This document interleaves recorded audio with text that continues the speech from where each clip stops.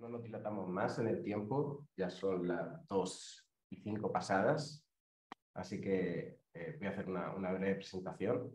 Eh, buenas tardes a, todas y todos. Eh, mi nombre es Ginés Guerrero, soy el director del laboratorio, director ejecutivo del Laboratorio Nacional de Supercomputación, el NLHPC. Y en nombre de todo el equipo quería daros la bienvenida a este, este evento, este curso. Es un curso que se enmarca dentro, ya lo venimos haciendo desde el año pasado, son cursos para toda la comunidad del NHPC que normalmente dictan nuestros usuarios a nuestros propios usuarios, aunque en algunos casos igual nos queremos extender más allá de nuestra comunidad.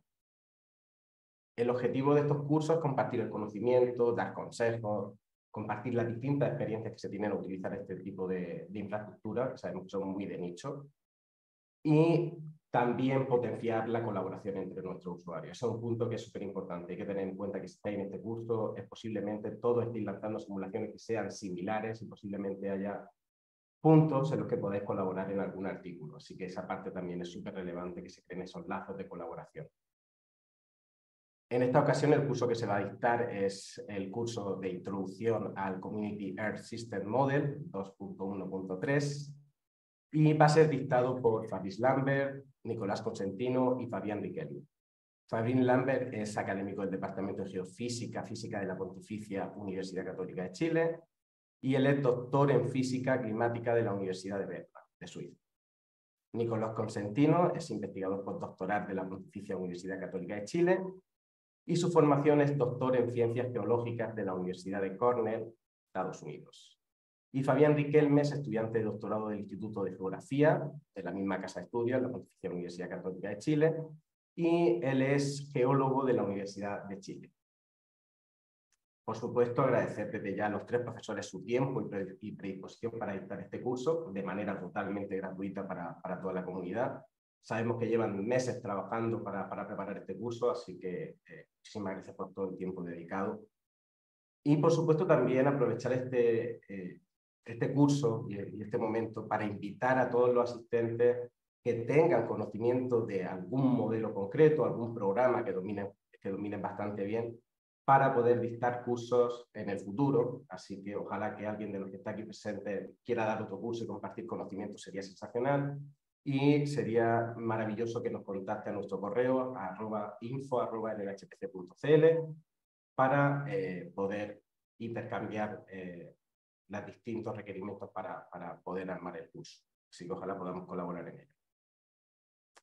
El curso va a ser moderado por los mismos profesores, nosotros simplemente hacemos esta de presentación y eso sí, el, equipo de NHPC va a permanecer, o parte del equipo de NHPC va a permanecer conectado durante la sesión para ver si hay algún tipo de problema y poder ayudar para poder utilizar perfectamente sin problemas el cluster de nuestro supercomputador. Así que, eh, sin más preámbulos, eh, desearles que les vaya muy bien el curso, que lo disfruten y que se creen muchas más instancias como esta. Así que, nuevamente, gracias a los profesores y estamos hablando. Listo. Bueno, muchas gracias, Ginés. entonces, voy a empezar eh, este curso y empezar compartiendo pantalla. Vamos a ver si esto funciona. ¿Pueden todos ver uh, mi presentación? Perfectamente. Sí, se ve bien.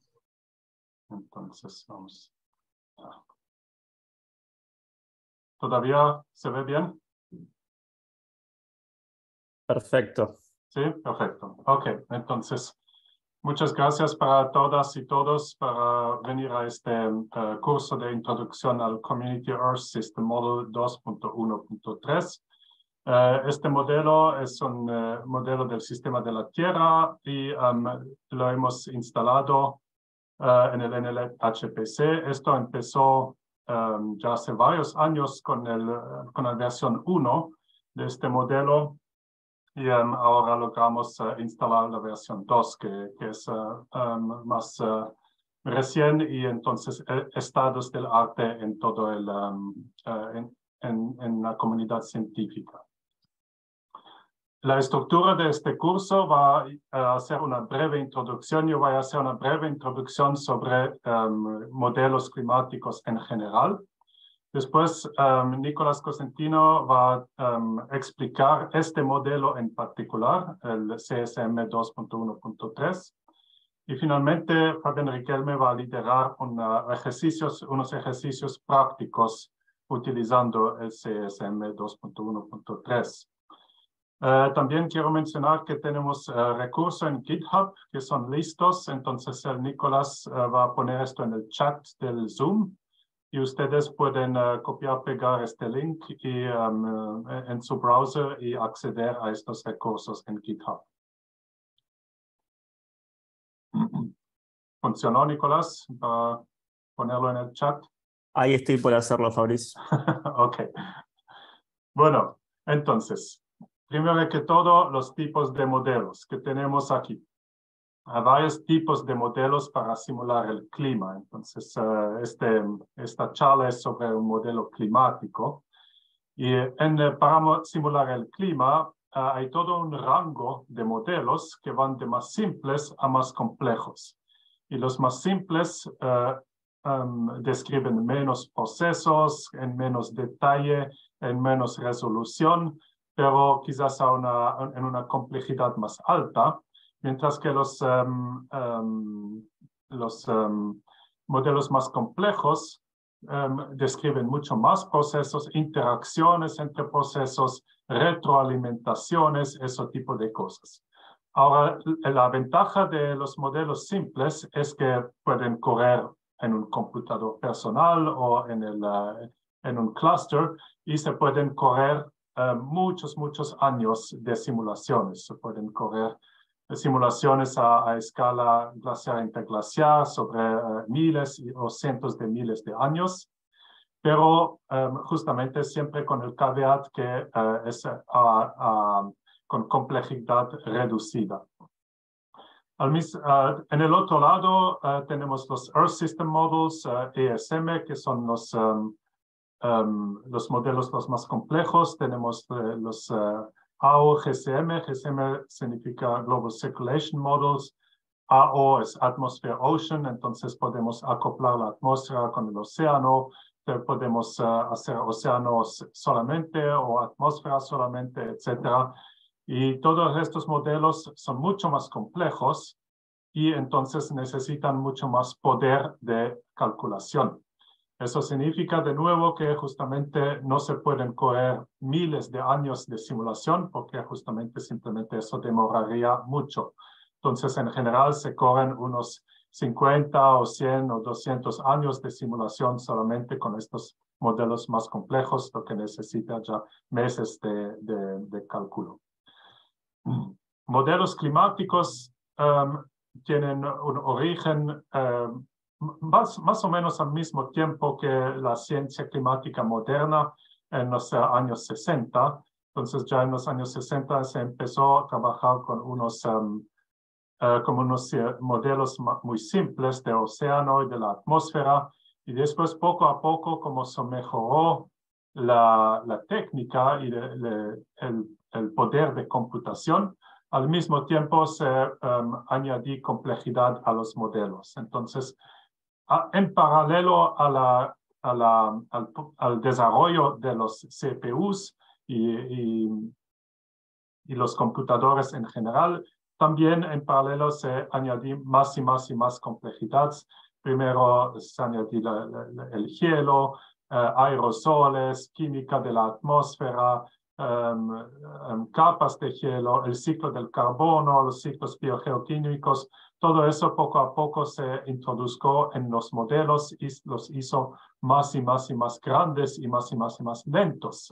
Entonces, al mismo tiempo que los computadores se, se desarrollaron para ser más veloces, al mismo tiempo los modelos uh, se desarrollaron para ser más complejos y más lentos.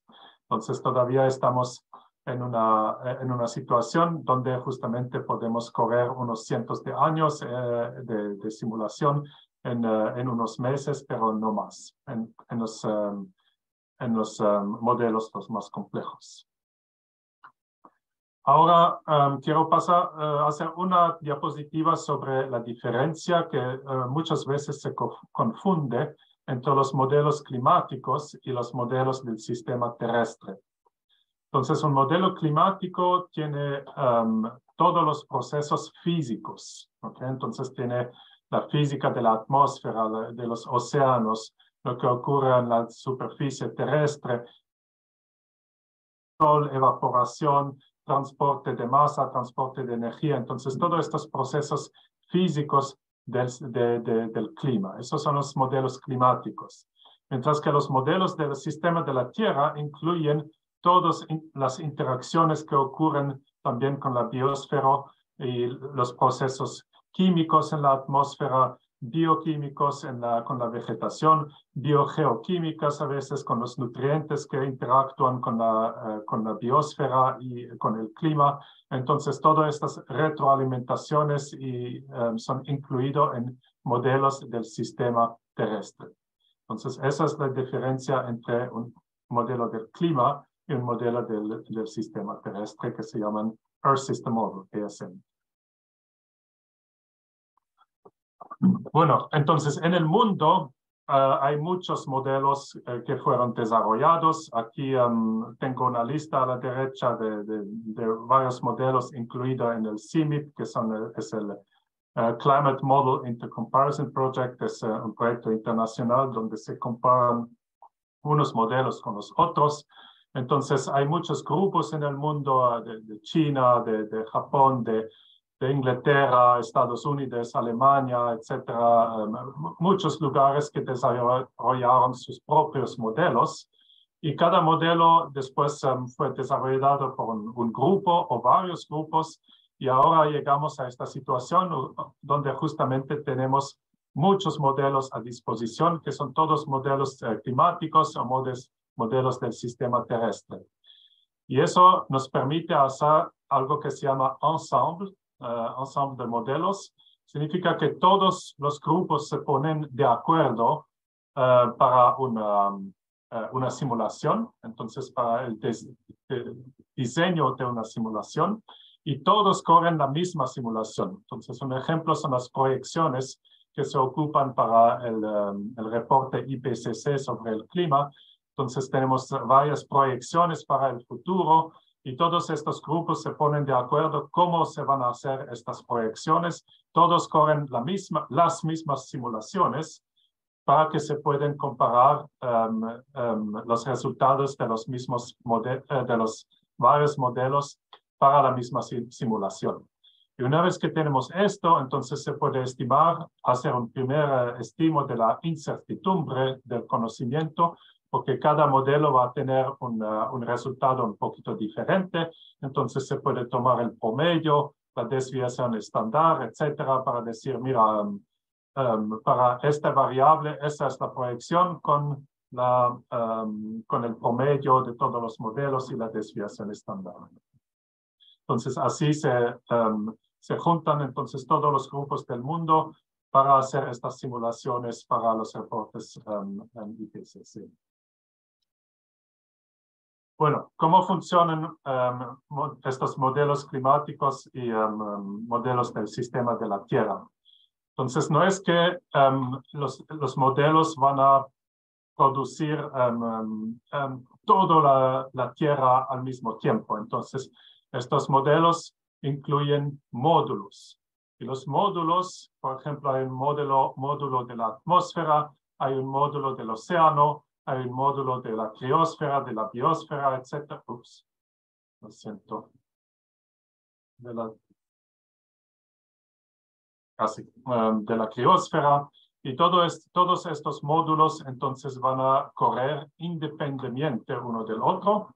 Y hay una, um, cada uno por sí mismo, por ejemplo, la, la, el módulo de la atmósfera va a calcular la, presión, los vientos, la precipitación. Después tenemos un módulo de la, de, la Tierra que calcula la, vegetación, la biogeoquímica en el suelo. Tenemos eh, el módulo del, océano que calcula por sí mismo entonces los, eh, los corrientes en el océano, la salinidad, la biogeoquímica del océano, etc. Y todos estos módulos hablan eh, uno con el otro uh, utilizando couplers. Entonces, um, hay, um, se transfiere información de un módulo al próximo. Y eso tiene una gran ventaja, es que esos módulos se pueden correr individualmente. Entonces podemos decir, mira, nosotros nos interesa solamente la precipitación, por ejemplo, entonces queremos correr solamente el módulo atmosférico y vamos a dar como condiciones de borde todo lo que normalmente um, sería um, la información que se traspasa um, dinámicamente de otros, de otros módulos del océano, de la tierra, de la quirósfera. Entonces todo esto lo vamos a fijar. Vamos a hacer condiciones de borde de la superficie del océano, de la topografía, de, de la cobertura de vegetación. Y eso, con estas condiciones de borde, vamos a correr solamente este módulo. El ventaja de este sistema es que se necesita mucho menos poder computacional para correr solamente un módulo al lugar de correr todo el, um, el, el, el, modelo completo uh, con todos sus, sus módulos. Bueno, y finalmente voy a mencionar rápidamente Em, cómo se hace una simulación así. Entonces, cuando uno empieza una simulación, hay dos em, simulaciones que tienen que empezar eh, antes. Entonces, hay que hacer un spin-up. Un spin-up significa, una vez que corremos, empecemos a correr el, módulo, eh, el modelo, este módulo va a ser todavía no en equilibrio. Entonces, em, por ejemplo, el océano necesita mucho tiempo hasta que la temperatura al fondo del océano se, um, se equilibra con lo que ocurre en la superficie. Entonces, fijemos el forcing, que son los forzantes, y después hay que dejar correr el, el modelo por mucho tiempo hasta que todo el sistema climático con todos los subcomponentes se puse en equilibrio.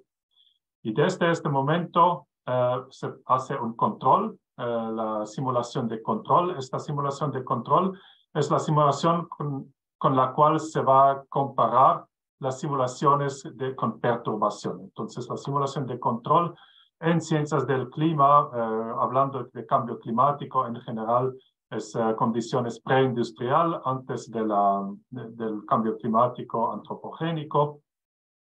Y esta simulación de control va a ser entonces con, eh, con los forzantes fijos y um, permite determinar también un de la variabilidad interna del modelo sin perturbaciones.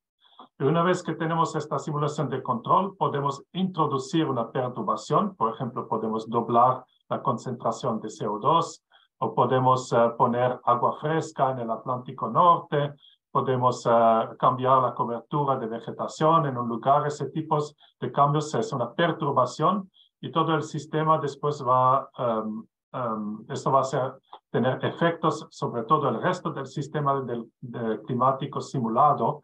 El modelo va a calcular todos estos efectos. Se espera de nuevo que el sistema sea en equilibrio y se puede comparar con la simulación de control para justamente ver el efecto de nuestra perturbación en el um, sistema climático. Bueno, um, y con esto yo termino. Um, no sé si hay preguntas a, a esta altura.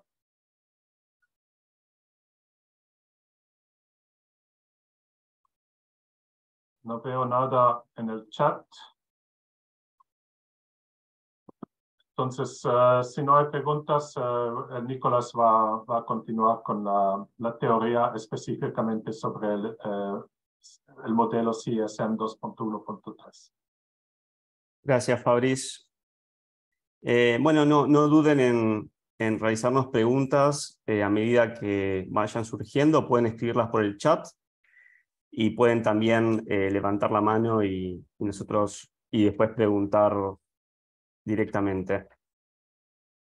Bueno, voy a compartir pantalla. Y vamos a ver, acá deberían estar viendo mi, este, mi presentación. A ver, un segundito, que me confundí de presentación. Acá está. Entonces, eh, acá debería estar ya viéndose bien. Ustedes me dicen si es así. Está perfecto. Perfecto.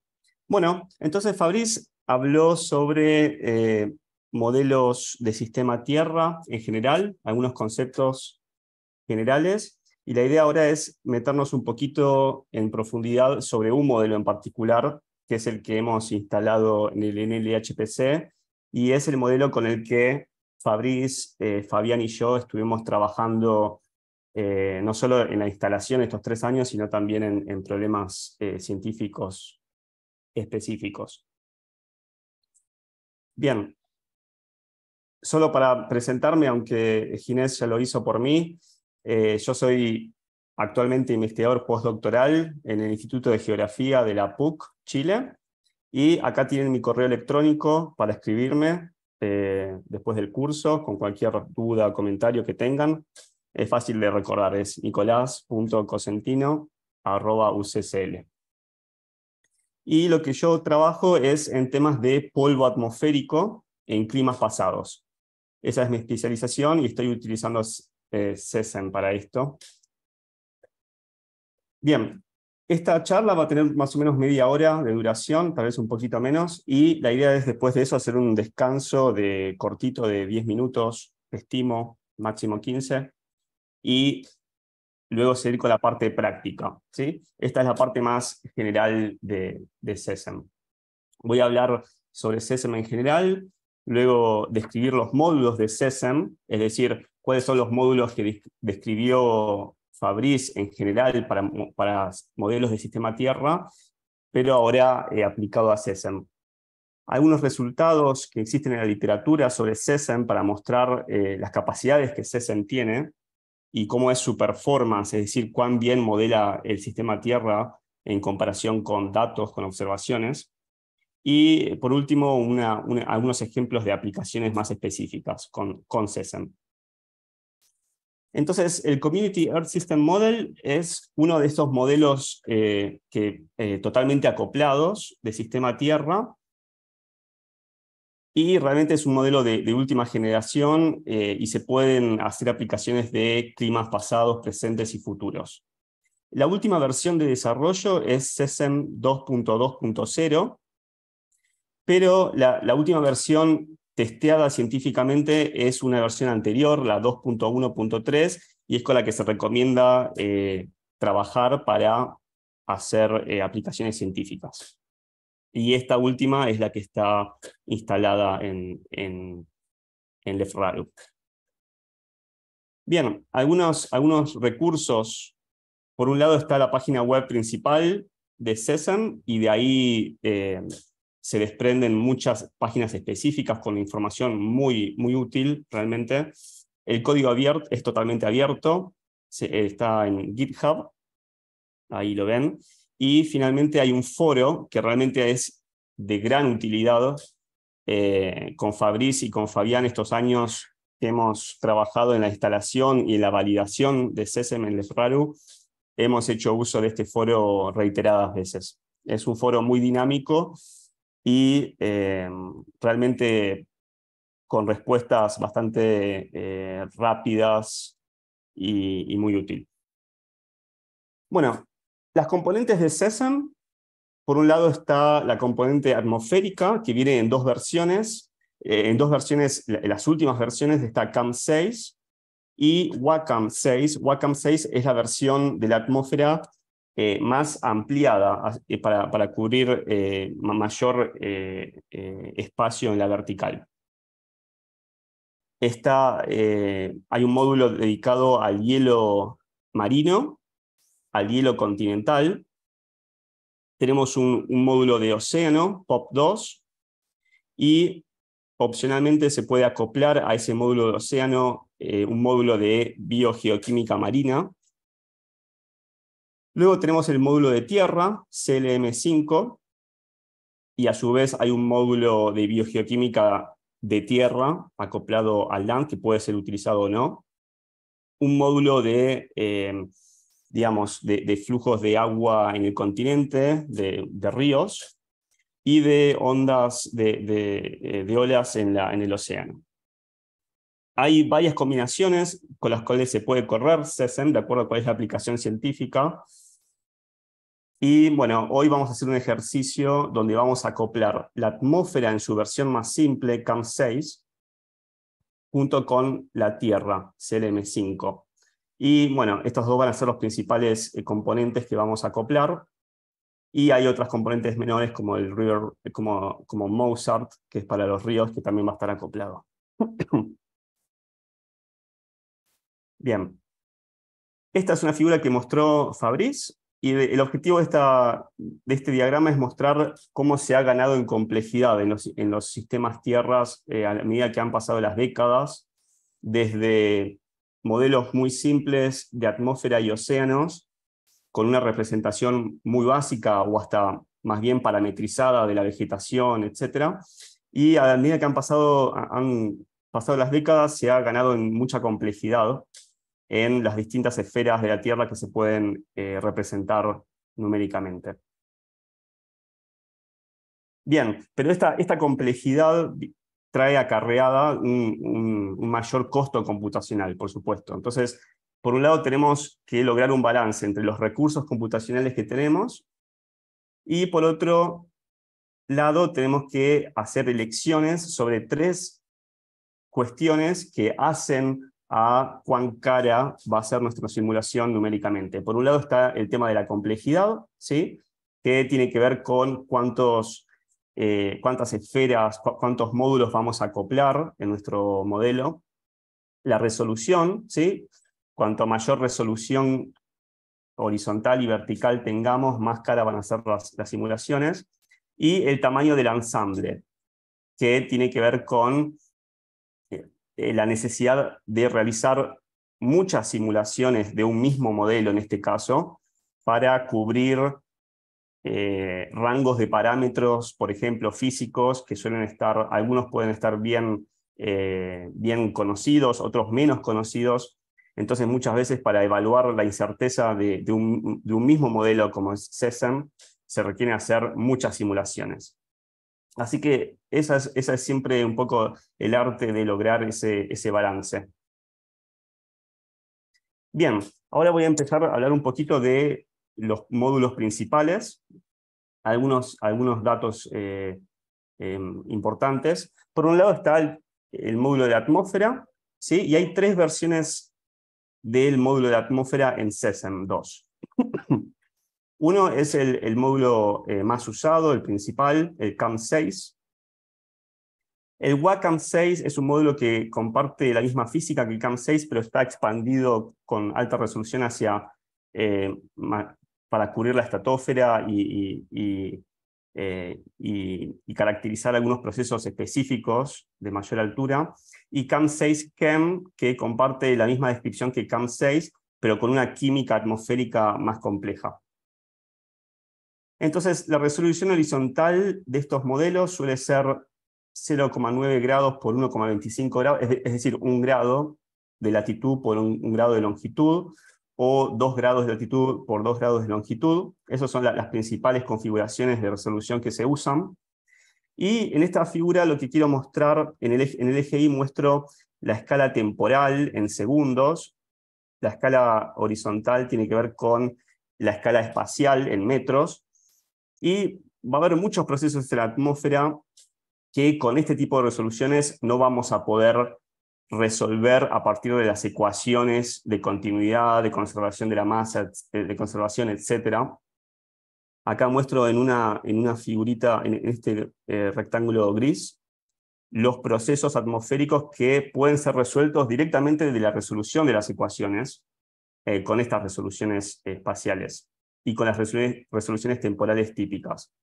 Va a haber otros, otros procesos atmosféricos que van a quedar fuera, no van a poder ser resueltos por las ecuaciones y por lo tanto van a, tener que ser parametrizados. ¿sí? La coordenada vertical en, en este modelo CAM6 es una coordenada híbrida. Digamos, a altas alturas simplemente tenemos una coordenada de presión pero a medida que nos acercamos a la superficie de la Tierra y la topografía influye, vamos a, usar, eh, SESEM usa coordenadas sigma, que como pueden ver, acá en la ecuación es una, fracción de la, presión superficial en cada punto, ¿sí? para seguir un poco la, influencia de la topografía. La resolución vertical de CAM6 por defecto es 32 niveles, y CAM6 y CAM6 CHEM eh, llegan a una altura de 42 kilómetros, es decir, 2 pascales, mientras que, que Wacom 6 llega a 140 kilómetros y eh, es más, más cara numéricamente, por supuesto. Eh, entre CAM6 y CAM6-CHEM tenemos la misma física, la misma resolución, pero tenemos una mayor complejidad en los procesos químicos y de aerosoles y cómo estos procesos se acoplan al clima que en CAM6. CAM6 también tiene cierta representación, pero es más simple. Por un lado tenemos el módulo tierra. Tenemos CLM5, ese es el módulo de tierra más importante, y un módulo de biogeoquímica de la tierra que es opcional.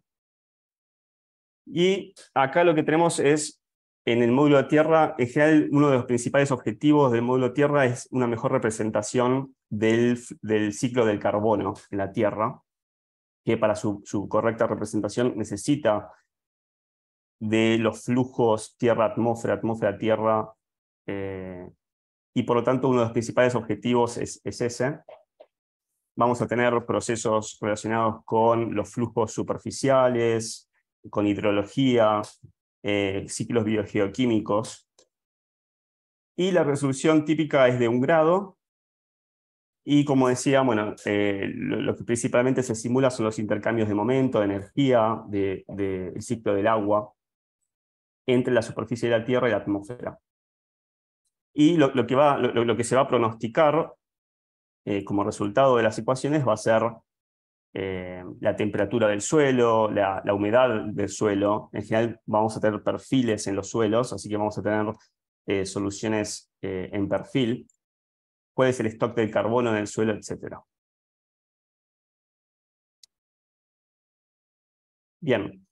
Y Ahora, por último, les cuento sobre el, módulo de océano, que en este ejercicio en particular que vamos a hacer en un ratito eh, no lo vamos a acoplar. Y como decía Fabriz, eh, acoplar el océano en general implica unos aumentos en los costos computacionales muy altos.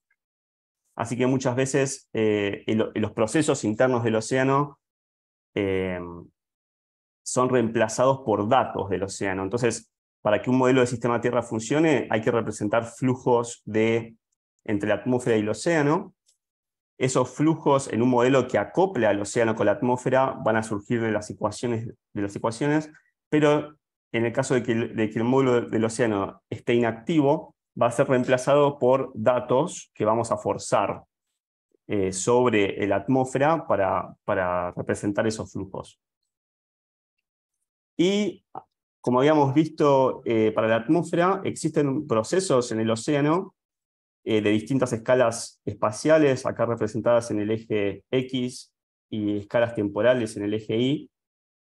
Y eh, la principal resolución que se usa es de un grado, y con esa resolución acá tienen una, una cajita negra que muestra cuáles son los procesos que quedan comprendidos en esa resolución y que son resueltos por las ecuaciones. Estamos hablando de ciclos eh, estacionales, las ondas Rossby, procesos El Niño, eh, variabilidades en la, en, eh, a escala de cuenca en el océano, pero no vamos, no vamos a representar muchos otros procesos que en cambio vamos a tener que, que parametrizar. ¿sí?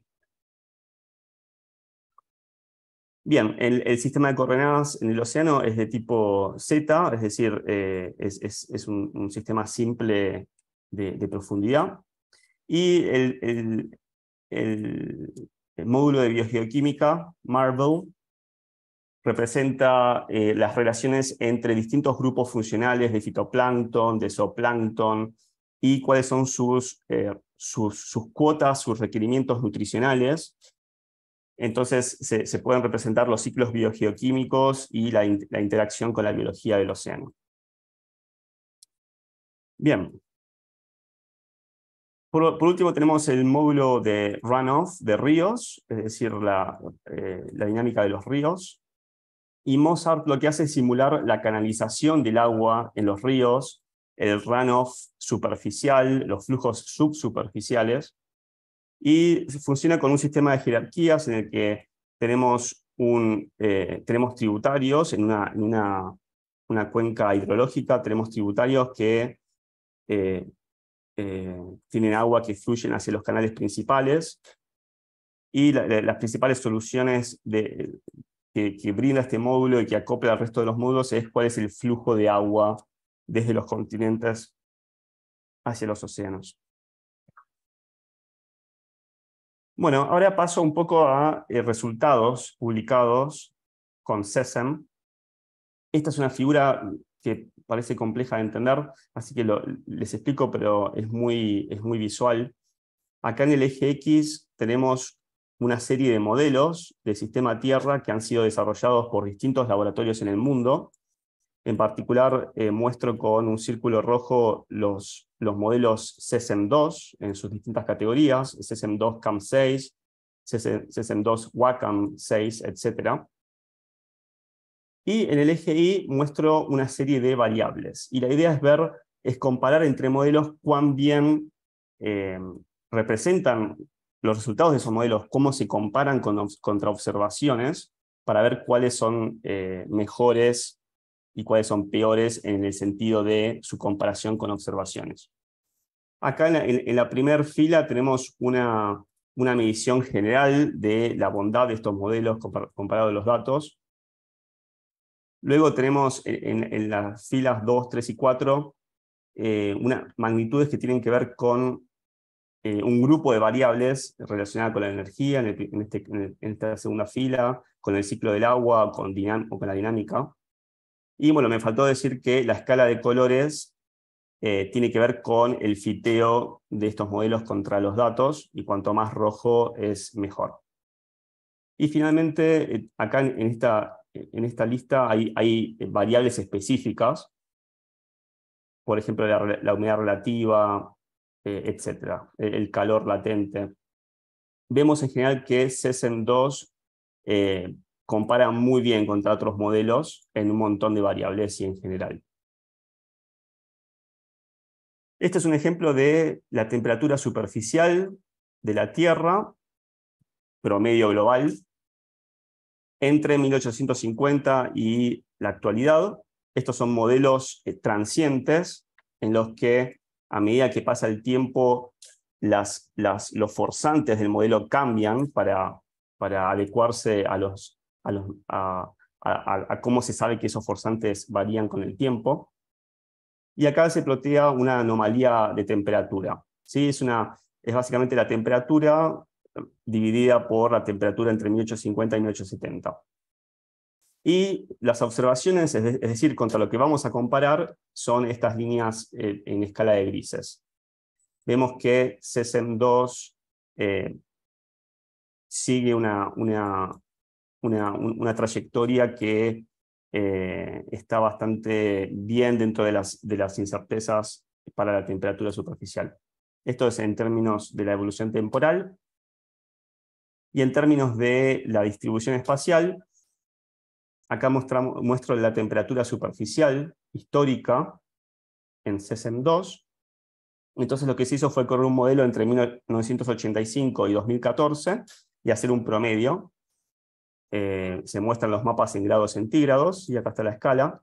Los, los mapas que están a la izquierda son los modelos, resultados de los modelos. En, todo, en todos los casos es CSM, pero con distintas eh, eh, versiones. Y aquí arriba mostramos las observaciones contra lo que vamos a comparar. Y finalmente, en estos, estos tres diagramas de la derecha, tenemos los modelos menos las observaciones para evaluar dónde las diferencias son mayores y dónde son menores. Entonces, eh, esto es una de las variables que mostraba en la, en la figura anterior. Y esto, este tipo de visualización nos permite evaluar eh, en qué regiones hay, mayor, eh, hay, mayores diferencias con las observaciones y dónde hay menores diferencias.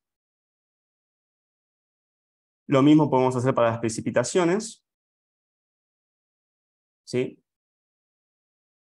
Y Pasando ahora a el tema de acumulación de carbono en la Tierra, esta figura muestra una evolución temporal utilizando CLM5, es decir, el módulo de tierra, y lo que, lo que se muestra acá en esta figura es la cantidad de carbono en petagramos que se acumulan en la Tierra de forma cumulativa con el tiempo. ¿sí? La línea negra, esta que está aquí, son las observaciones, y la, el, área en, gris son, es la incerteza en, las observaciones, y vemos cómo los distintos, las distintas versiones de CSM2 siguen esta trayectoria mucho mejor que lo que lo hacía CSM1, que es la versión anterior a este modelo.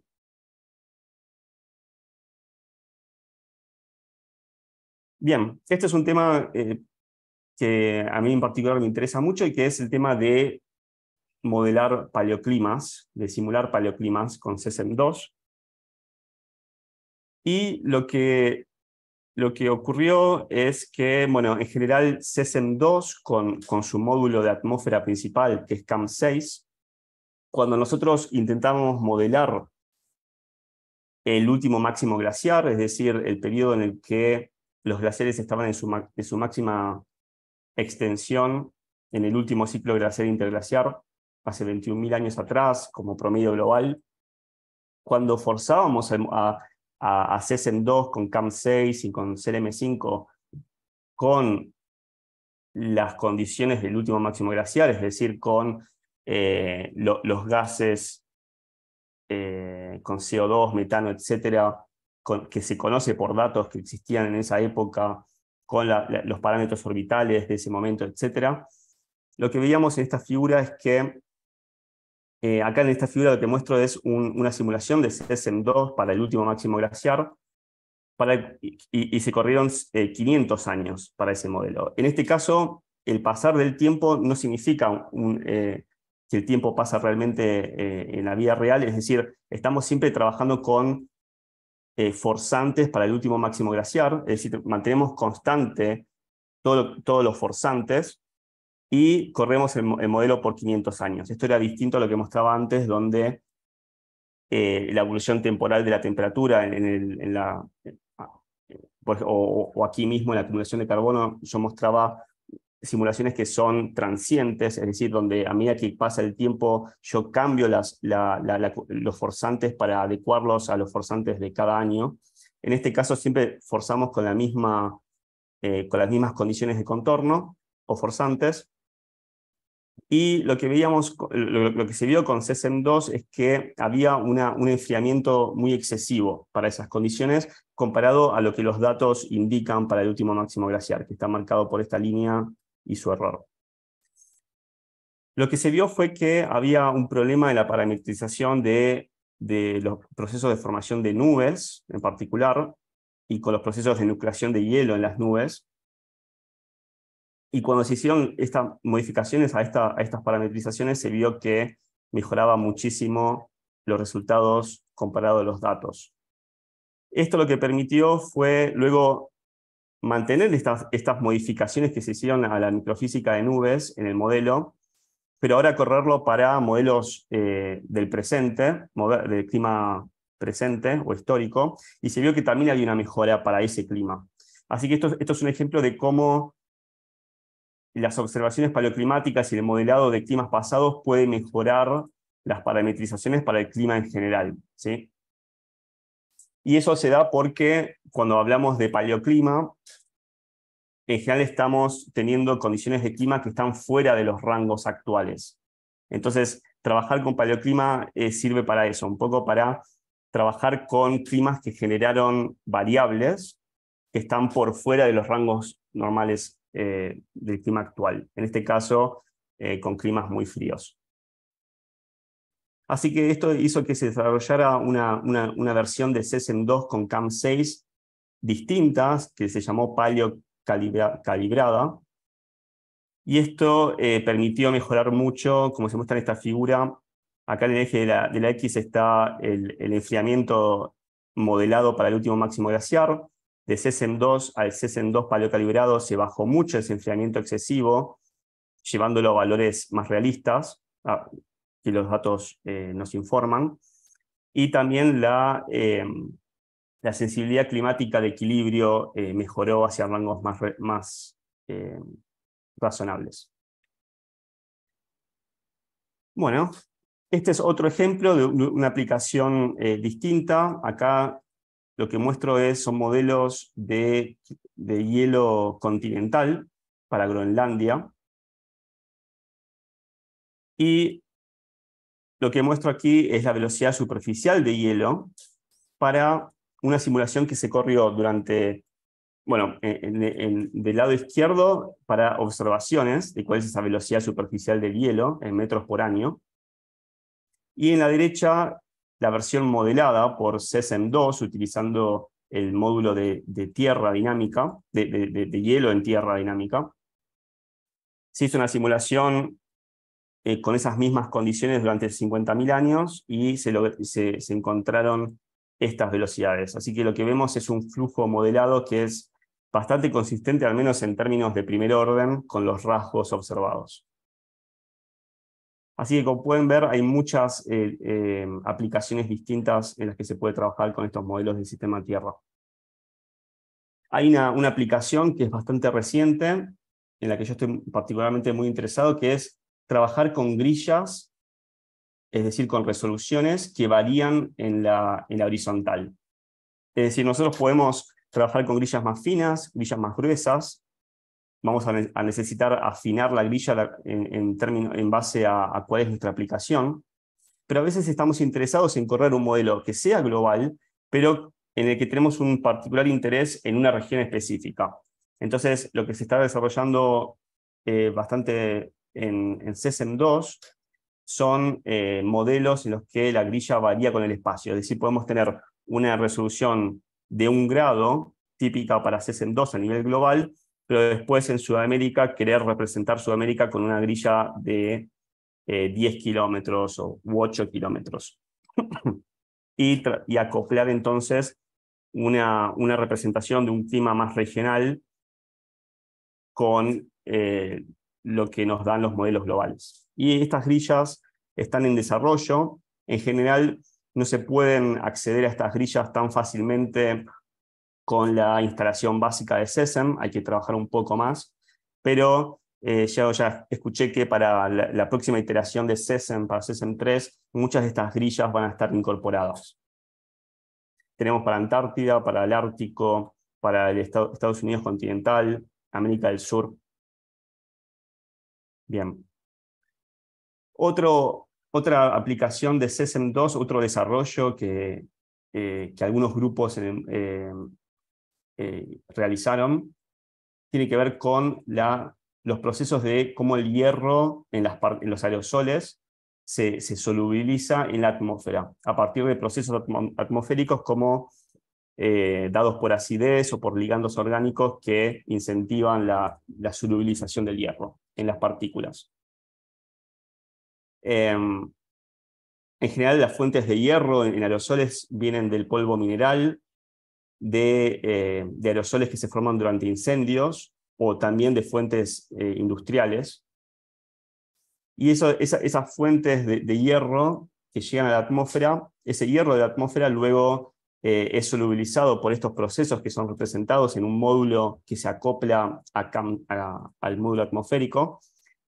Y esto es otro ejemplo de bueno, un, proceso más, más avanzado de CSM2 y la idea siempre es mostrar que si bien hay una serie de herramientas, de módulos básicos que se incluyen con la, instalación de CSM2, muchos grupos en el mundo están trabajando en, cosas muy particulares como esta, que tal vez no están disponibles por ahora directamente de la instalación, pero que se pueden, eh, son eh, códigos eh, que están liberados y que se pueden acoplar.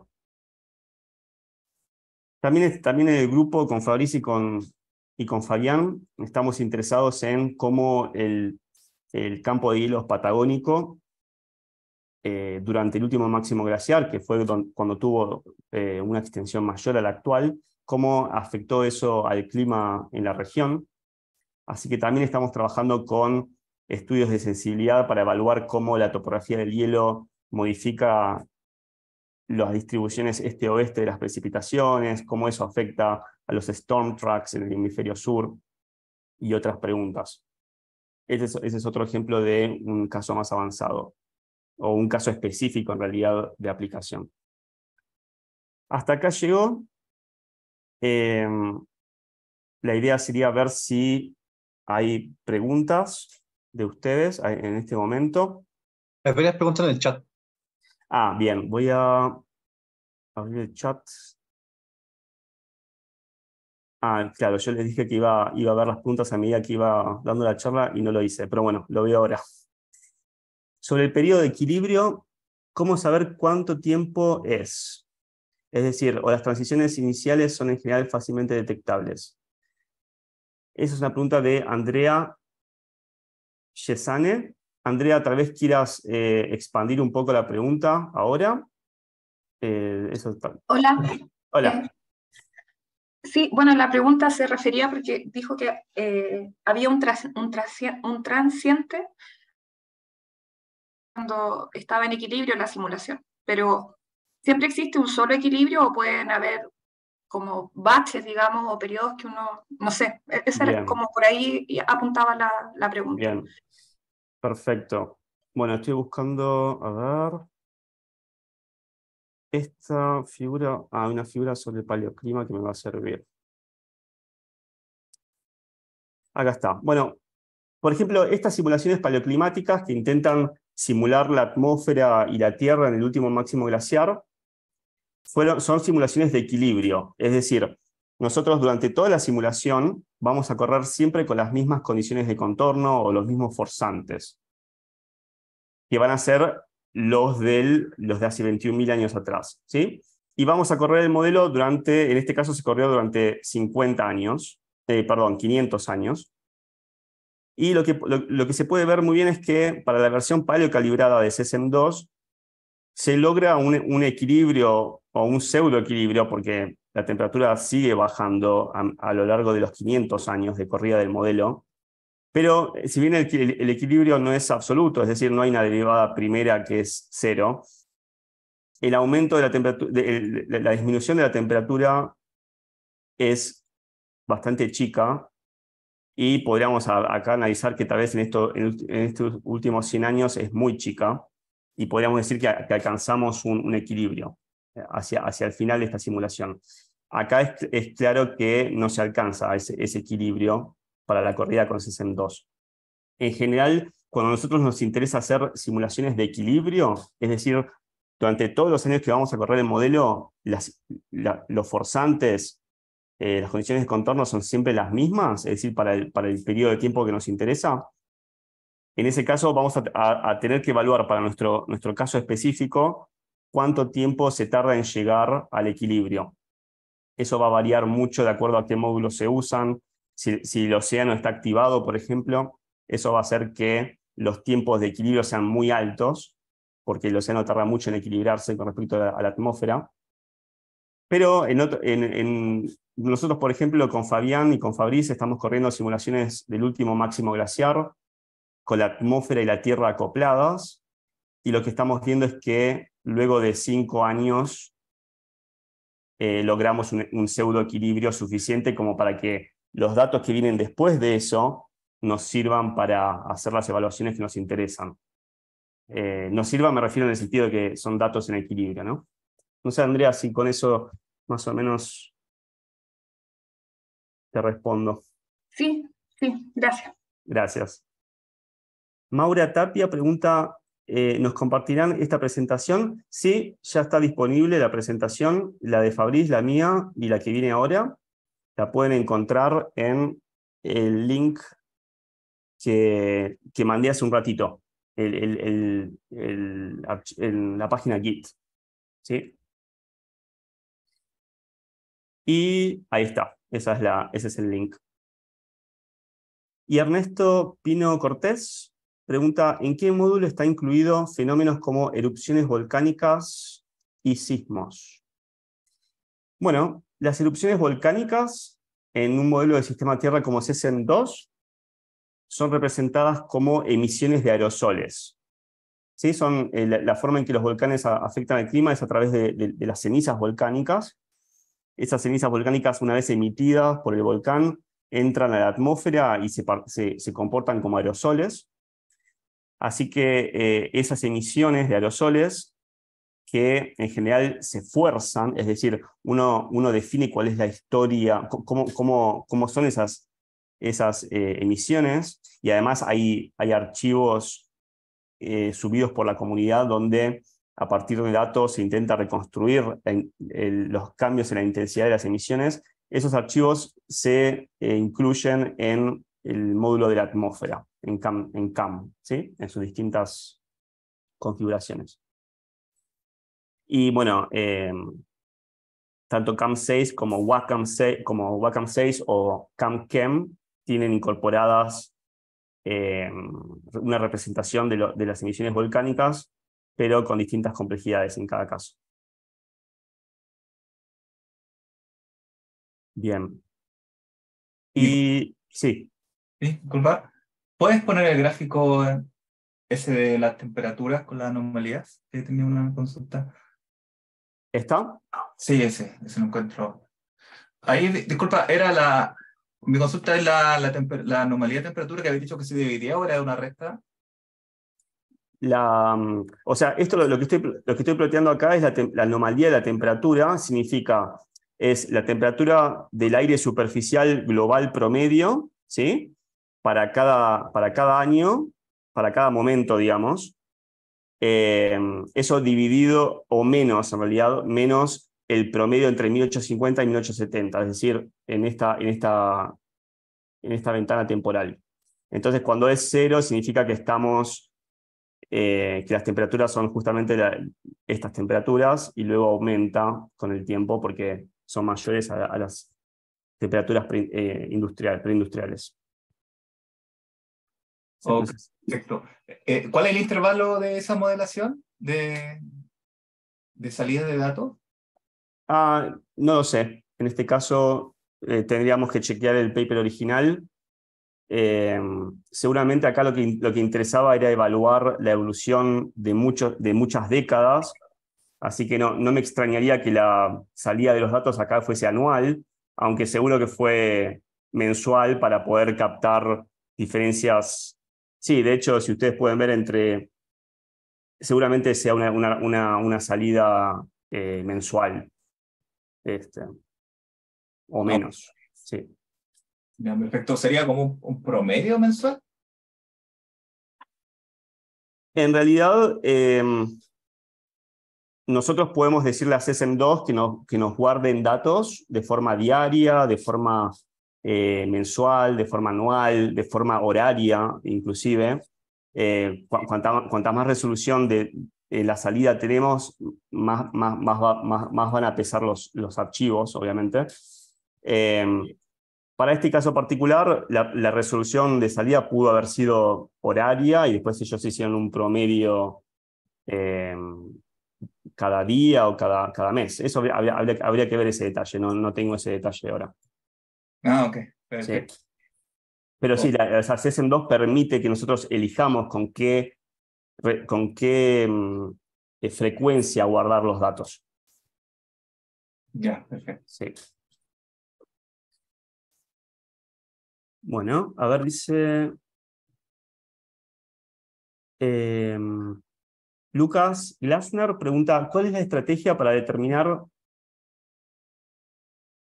si las diferencias de una simulación perturbada son significativas respecto a la variabilidad natural de, de un control. Si las diferencias de una simulación...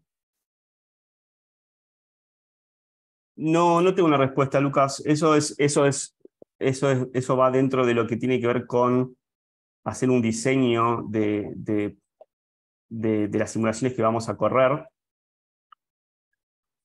Cuando vos decís simulación perturbada, yo me imagino que estás pensando en, bueno, tengo una, una, una, una configuración específica que, quiero modelar, pero hay un parámetro específico, como por ejemplo, no sé, la intensidad de las emisiones volcánicas, que no tengo un conocimiento bien sobre cómo, cómo es ese parámetro, entonces hago muchas simulaciones con distintos valores para ese parámetro.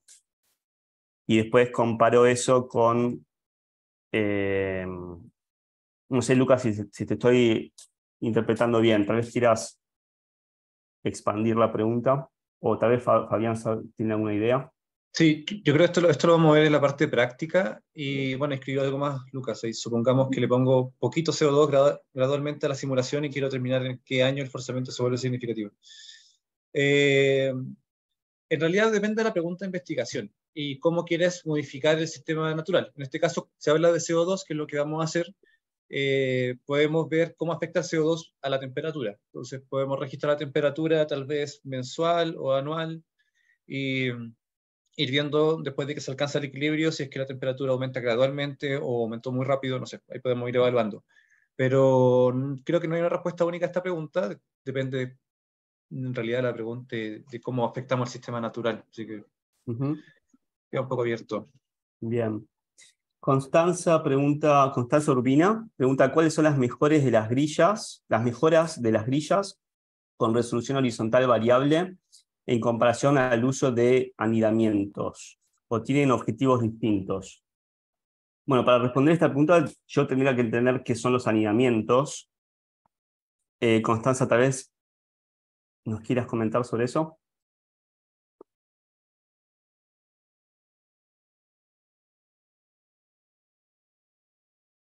Un dominio dentro de otro. Bien, un dominio dentro de otro. Yo, eh, en general, lo que hace las grillas de resolución variable en CSM2 es elegir una región, aumentar la resolución para esa región y después para un tema de estabilidad numérica, generar una transición entre esa mayor resolución de la región de interés y la resolución global, hacer un, degradé de resoluciones para, para evitar eh, problemas numéricos en general lo que se está trabajando ahora en CSM2, lo que yo he visto hasta ahora es utilizar una única región con resolución mayor comparado al resto del mundo. Em, ahora, yo no sé esta, definición que yo estoy haciendo de resolución horizontal, cómo compara con eh, lo que vos comentás como anidamiento, eh, que decís que es un dominio dentro de otro. No, no sé exactamente cuál sería la diferencia entre lo que vos definís como anidamiento y lo que yo estoy definiendo como resolución eh, variable para CSM2 en particular. Si querés después lo, hablamos más, porque creo que necesitaríamos charlar más sobre eh, el concepto que vos estás mencionando. Para, comentar, para, complementar, Nico, yo creo que tiene que ver con una cuestión de recursos también, porque si tiene una grilla regular y tienes anidamientos como zonas de más resolución, que no sé si es posible, no he visto que se hayan hecho trabajos de eso, eh, necesitas más recursos para correr las simulaciones. Y la ventaja de estas, estas grillas que hablaba Nico, que por ejemplo tienen más resolución solo en Sudamérica y menos en el resto del mundo, ocupan la misma cantidad de recursos que una grilla regular. Es decir, una grilla regular de un grado por un grado gasta cierta cantidad de recursos y sería la misma que solo Sudamérica. Y esto sería mucho menor que una grilla regular con anidamiento, que es lo que entiendo. está, está bien. Entonces puede ser por ahí la respuesta. Bien. Bien. Eh, este mismo gráfico, temperatura simulada en CESAM. Ok, Alonso pregunta, con respecto a este mismo gráfico de temperatura simulada en CESAM, tengo dudas de cómo es el forzamiento. Como decía Lucas, ¿se le va agregando forzantes progresivos como CO2 u otros factores? Claro, este es un ejemplo de una simulación que no es una simulación de equilibrio, es decir, a medida que pasa el tiempo numérico, nosotros vamos a modificar los forzantes. No, vamos a dejarlo así, eh, siempre igual como en el caso que mostraba del último máximo glaciar. Así que a medida que pasan los años, vamos a utilizar un archivo, por ejemplo, para emisiones de CO2, donde eh, para cada año hay una emisión distinta, conocida a partir de, por ejemplo, datos de medición históricos o datos proxy para tiempos más antiguos. Y entonces a, cada, a cada paso temporal o cada tantos pasos temporales, por ejemplo, cada, una, cada un año, vamos a modificar esos forzantes. Eh, y bueno, el CO2 es un ejemplo, ¿no? Hay muchos otros forzantes que también necesitaríamos modificar para una simulación transiente como esta. Bueno, eh, no sé si hay otras preguntas. Diego Hernández dice, hola, en el caso de Mozart, el agua pasa de CLM5 a Mozart, y tanto CLM5 y Mozart tienen la misma escala espacial de un grado. Bueno, Mozart no es un, en general, yo en, las, imagínense que CSM2 es un universo, es muy grande y nosotros en las aplicaciones que yo he trabajado hasta ahora, si bien Mozart está activado, no he, no he trabajado con output de Mozart porque no, no es de, de, mi interés científico. Así que no tengo detalles en general de, cómo, de, las particularidades de, Mozart. Ahora, Mozart tiene que, evidentemente, acoplarse con la atmósfera y o la Tierra para, por ejemplo, acoplar los, eh, los resultados de niveles de precipitación, ¿sí? Luego, esos niveles de precipitación dados por el módulo atmosférico tienen que acoplarse con, los módulos, con, con el módulo de tierra a través de los perfiles verticales de, humedad en, la, en el suelo. Y esas dos cosas van a tener que ser un input para para Mozart para, para calcular flujos. Eso es, en, es, mi intuición. Pero eh, habría que leer un poquito sobre Mozart. Sí. Y, y, bueno, una de las cosas sobre CESEN es que uno en general no tiene que entrar a, a trabajar con CESEN pensando que va a entender todo. En general uno tiene que enfocarse en cuál es su interés y, y, meterse de, lleno ahí adentro. Y al principio al menos uno va a tener que aceptar que algunas cosas son por defecto. Este, eso es algo que yo cuando empecé a trabajar con CSM2 eh, dije, no, no voy a empezar a trabajar con CSM2 hasta entender acabadamente cómo funciona cada uno de los módulos. Bueno, eso me duró un día hasta que me di cuenta de la magnitud de, de esto. Eh, bueno, un pequeño comentario. Bueno, no sé si hay alguna otra pregunta. La idea con, con, eh, con Fabián es que nos tomemos, a ver qué hora es. A ver, Fabi, ¿qué opinas vos? Son las 15 y cuarto. Eh, no queremos pasarnos de las 5 de la tarde. ¿Puede ser 10 minutos? ¿Está bien? Claro. Yo lo que haríamos es descansar 10 minutos, ponerle retomar a las 15.25.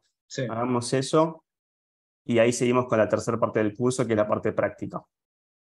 ¿Les parece bien?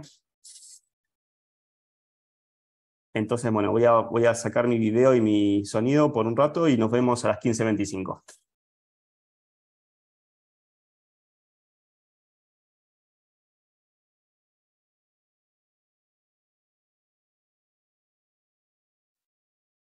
Bien, ya estamos de vuelta, ¿no? Así es. voy a comenzar a compartir pantalla. Y Fabi, ¿te parece anunciar que em, hay una nueva versión de la guía que vamos a utilizar ahora? Sí. Es, Ah, dale no, dale no. No, es, es, es, la, es exactamente la misma guía que ustedes ya han recibido por correo, pero tiene un agregado hacia el final de la guía Así que ahora si en algún momento, o sea, pueden empezar a trabajar con la guía que tienen ahora, pero eh, si pueden meterse en el, Git y bajar la nueva guía, eh, eso sería lo ideal. Y además hay una encuesta que sería bueno que contesten. Eh, Nico, ¿la puede enviar por el chat del, de Zoom? Sí, ahora lo hago. Para que una encuesta de satisfacción. Por favor. Bien, se ve en mi pantalla, ¿no? Sí. Gracias, Nico. Eh, bueno, como dijo Fabriz y mencionó Nico, creo, eh, voy a hablar de los aspectos más prácticos de SESEM, que tienen que ver con eh, instalación y algunas otras cosas. Y en particular voy a explicar la teoría o los aspectos, más bien explicarles los, los, pasos a seguir para crear un caso. Y luego de eso, vamos a crear un caso cada uno y nos vamos a tener el clúster y ahí a ensuciarnos las manos. Así que cualquier pregunta, eh, voy a tratar de estar haciendo el chat. Eh, pero si no, lo hacen al final. Podemos volver a, en cualquier momento a la, a la, presentación. Bien, entonces, primero, antes de comenzar, quiero dejar bien claro que eh, toda la información que nosotros hemos hablado, bueno, la mayoría, está en la página de SESEM. Entonces, en este PPT pueden encontrar abajo la página, pueden visitarla y hay mucha información, incluyendo otros tutoriales que, han hecho, que ha hecho ENCAR, que es la institución que, que lidera eh, CESEM, y pueden visitarla y encontrar un montón de información para poder seguir aprendiendo de CESEM. Como Nico dijo, y como también lo mencionó Fabriz, estos modelos son eh, monstruos, son grandes, son muy complejos en realidad, y solamente de la atmósfera eh, pueden, hay infinitas cosas que pueden aprender o que pueden modificar, que pueden utilizar. Y lo mismo con módulos de tierra, eh, océano, y cada uno de los eh, módulos de SESEM. Entonces, como son tan amplios, generalmente requieren de mucho trabajo personal y, bueno, no sé, pueden especificarse, o sea, especializarse en lo que quieran. Así que invitados a que revisen la página de ENCAR, ahí está toda la información, hay más información de la que vamos a mostrar nosotros.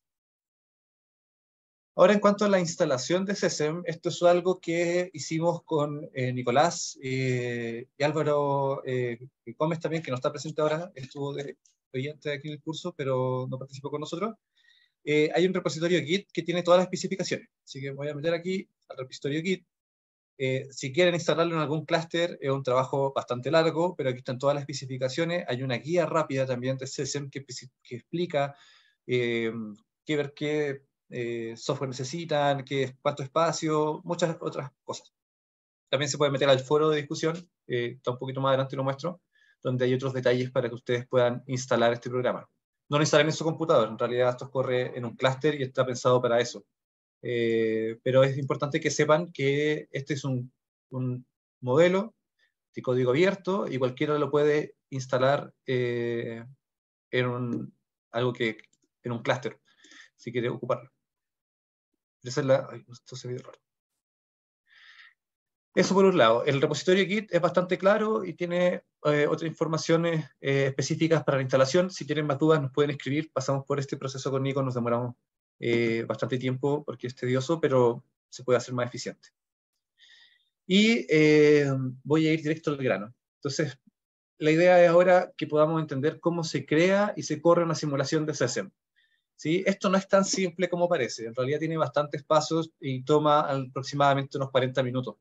Eh, entonces, lo primero es que SESEM eh, tiene varias carpetas. Voy a, a ver, a compartir este, es una, estoy conectado al clúster desde, no sé si se ve aquí la consola, y SESEM en el clúster está instalado eh, es parte del CR2.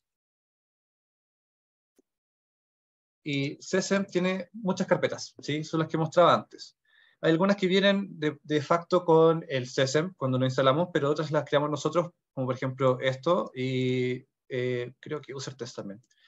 Eh, y es importante saber que las carpetas de CSEM son, hay tres carpetas que son las más importantes, que son Archive, Cases y Scratch, que tienen que ver con la configuración de los casos, eh, la compilación de los casos y después el, almacenaje de los casos de los archivos de salida. Entonces, para poder crear y, correr una simulación, es importante pasar por estos cinco pasos, más el paso cero, que es entender los directorios. Entonces, eh, para crear un caso, eh, hay que usar el comando create new case. Voy a ir ahora para allá. Yo creo que vamos a pasar con la guía ahora. Pero lo importante es que en esta carpeta model hay, eh, está el script que vamos a ocupar para crear un caso. Antes de crear el caso, que va a pasar la guía ahora mismo, es importante saber que hay tres carpetas que eh, quiero explicar un poco más estas tres carpetas. Case es la carpeta donde configuramos las simulaciones. Una vez que nosotros creamos el caso en esta carpeta model con el, script create new case, eh, se crea una carpeta dentro de cases, y aquí podemos modificar tanto cosas específicas de cada modelo, como el CO2 que preguntaba alguien, o bueno, otro gas infecto invernadero como CH4 debería decir, o las temperaturas de la superficie de la atmósfera, o la insolación, eh, cuánto tiempo vamos a correr la simulación, qué variables vamos a sacar de esta simulación, y muchas otras cosas. Entonces es importante que esta carpeta case contiene la información de configuración de la simulación. Scratch, por otro lado, compila las simulaciones. Uno de los pasos que vamos a ocupar es compilar la, simulación con todos los eh, las características que nosotros vamos a especificar. Y para esto, eh, y esto ocurre dentro de Scratch. Dentro de Scratch hay varias carpetas, otras carpetas, pero lo importante es que ocurre la compilación. Y además, cuando la, la simulación está corriendo, que puede tomar meses, eh, los archivos de salida se acumulan acá. Y también si es que la simulación falla, contiene algunos logs que contienen información de los errores. No son tan simples de leer, pero siempre en el foro de SSM ustedes pueden ir y buscar el error y siempre hay información. O si no, la gente de responde muy rápido a las preguntas. Y finalmente, Archive, como mencioné antes, es la carpeta que registra las simulaciones, eh, que registra los archivos de salida una vez que terminó la simulación y además contiene una carpeta que se llama logs, que tiene información de la simulación, en particular cuánto tiempo corrió, cuánta memoria RAM se ocupó, el máximo mínimo, no es constante, eh, cuánto tiempo, cuántos años simuló por día, por ejemplo, y, entre otras variables, que también son importantes el momento de, de simular. Perdimos el audio. ¿Cómo? Eh, no, te, perdimos tu audio durante los últimos 10 segundos. Ah, ¿en serio? Es, bueno, Archive se escuchó, claro. ¿Ahí se escucha? Eh, sí, ahora se escucha bien y pudo haber sido mi conexión, no la tuya, la que... La que... Ah. Pero bueno, vamos a Perdón. Bien, entonces ahora vamos a ir a mm, la parte práctica. ¿sí? Yo creo que aquí podemos separarnos en salas, tal vez, eh, y comenzar a trabajar en esto que puede tomar tiempo, en realidad.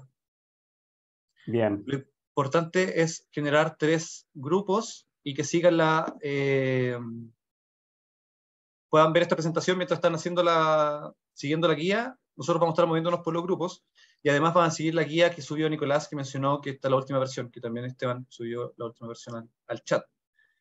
Claro, eso eh, yo aclararía, Fabián, que la razón por la cual nos vamos a dividir en tres grupos es que, dado que las, las simulaciones de CESEN son muy pesadas, y para hacerlo en un tiempo razonable para el, curso, eh, es importante, lo que, lo que decidimos hacer es que solo se corran tres simulaciones, una por grupo, y vamos a elegir a, un, a, tres voluntarios que lideren esos tres grupos.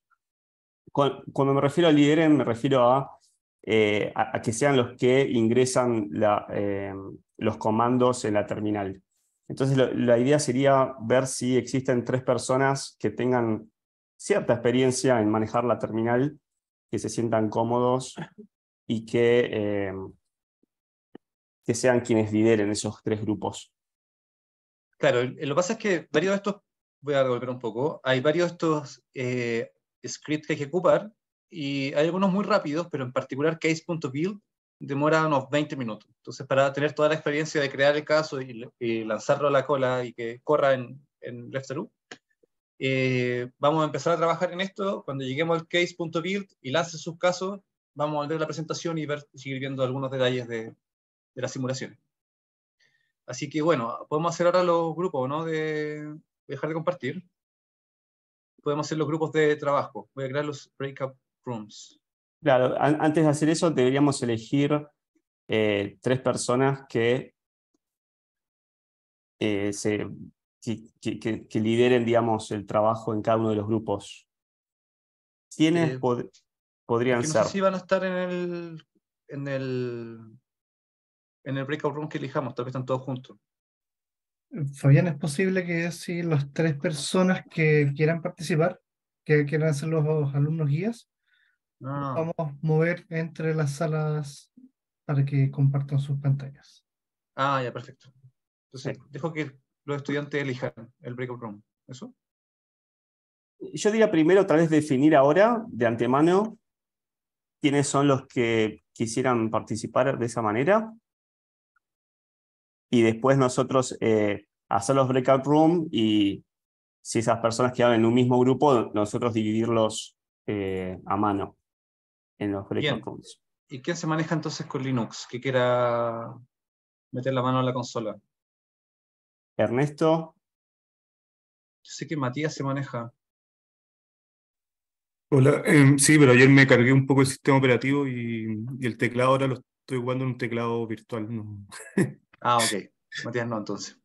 O sea, igual lo puedo hacer, pero no sé si voy a ir rápido. Eh, vamos a dejarlo como segunda opción a Matías. Ernesto, tenemos uno. ¿Quién más se, se ofrece para ser manipular CSM o la consola en realidad? Si no se ofrece yo, Maura Tapia. Maura Tapia. Y faltaría una persona más. Tapia. Ernesto. Puede, fue Nico también, o tal vez yo, no sé. Eh, bueno, yo podría hacerlo. Sí, eh, preferiría si alguien más lo está interesado en hacerlo, pero... Yo, yo lo puedo intentar, pero si alguien me puede, en un momento no sé, hay alguna tecla que no funcione, eh, me tendrían que...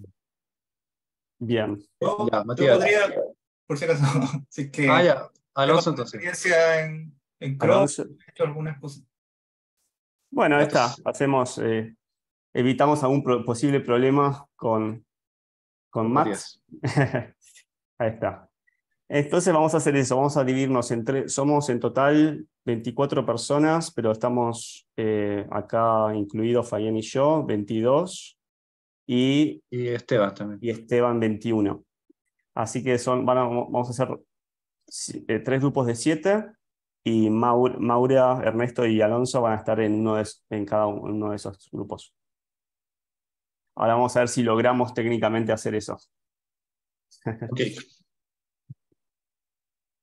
a ver. ¿Puedes crear los grupos, Nico? Sí. Eh, si quieres lo intento hacer yo. Ah, ah sí, te agradecería porque Esteban, vos tenés más experiencia que yo. Serían tres grupos, ¿no es cierto?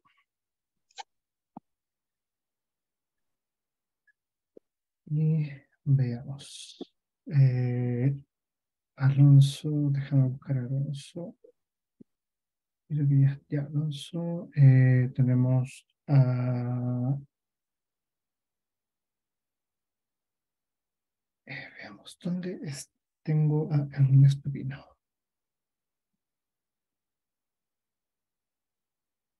Dos. Y Fabián y yo podemos quedar fuera del breakout room por un ratito. Eh, no sé si podrían, podrían eventualmente salir. Podrían eventualmente salir. Perfecto.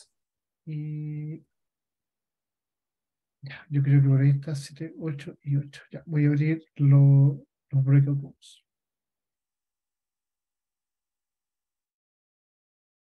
De ahí aprieta clic derecho. Sí, ya, entra. Eh, ya. Ahora te recomiendo que abras la guía del PDF junto con, y que amplíes tu, tu pantalla. Esa guía eh,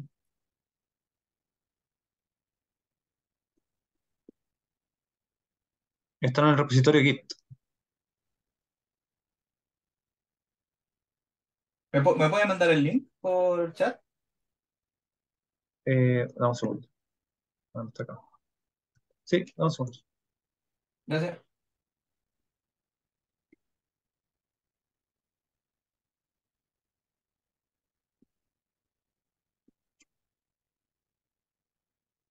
Esa.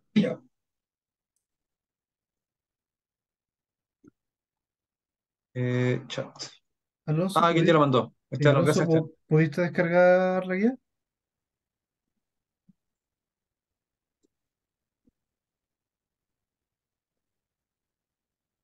Ahí go to file. En el botón derecho, un poquito más abajo, que dice download, puedes descargarla. Un poquito más abajo. ¿Me vamos pegando los comandos aquí en el chat? Download. Ahí lo vas a descargar. Ya, bacán, sí.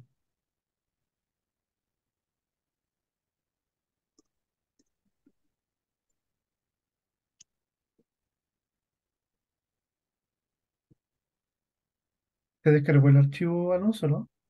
Sí, dice que se está, está cargando acá en la página. Ok. Sí, como que se está, está llegándose esa línea azul.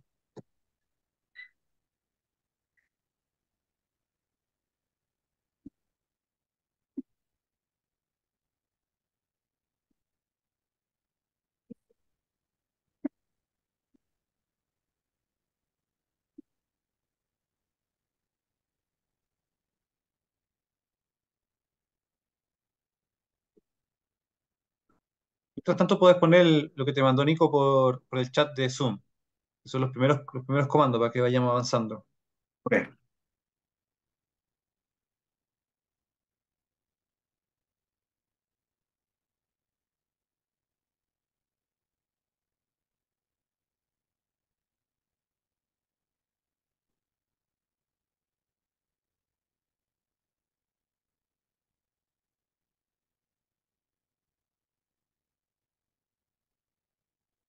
Fabián Constanza Urbina en el room 2 ha solicitado ayuda. Ah, ya, pues para allá entonces. Ok. Ya, gracias. ¿Este comando ML para qué? ¿En qué consiste? Para cargar las librerías, antes que me vaya. Cargar las librerías. Tienes que usar ese y el que viene después, el CCM2, CR2, ese. Ok.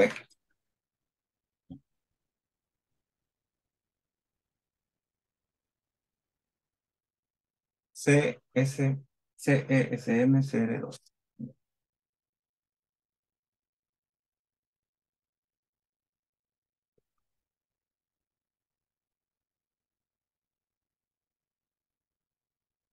Ok, ahí están los dos. El, el PDF, eh, hice clic acá, pero no, me ha tirado ningún mensaje. No. Si solamente tengo ese PDF.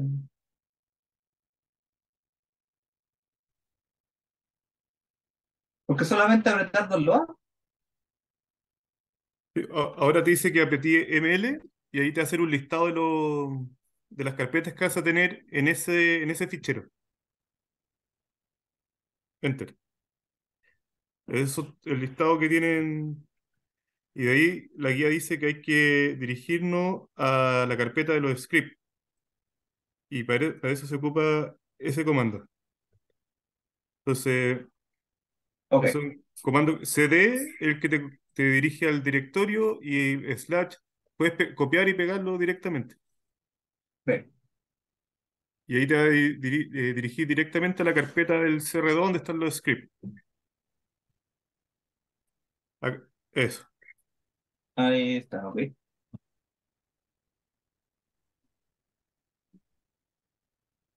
¿Cómo están? ¿Cómo que hay que están? copiar ese otro. Ese otro código. Ok, gracias. Ese es un comando, dice que toma un minuto aproximadamente, donde el signo peso caso corresponde al nombre del caso que correremos, pero yo creo que ese, ese caso se lo- nos tienen que dar.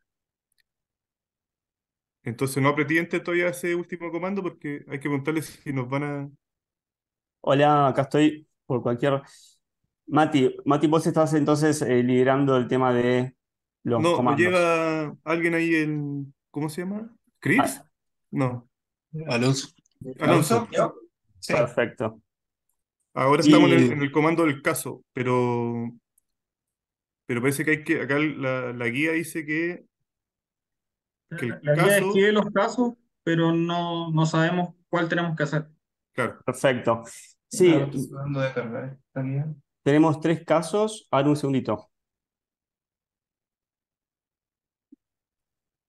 Perdón. Sí, entonces eh, vamos a hacer tres simulaciones, una por grupo, y uno de los grupos va a ser eh, el valor de dióxido de carbono preindustrial, que es eh, ustedes, y el resto de los grupos, uno va a hacer dos veces ese valor y el otro va a ser cuatro veces ese valor, y después vamos a, a- a ver, a comparar resultados. Así que ustedes utilicen el valor de dióxido de carbono preindustrial que aparece en la guía. Em, pero bueno, a ver, ¿en qué situación estamos? ¿Pudieron cargar los módulos? Sí, ahí lo veo.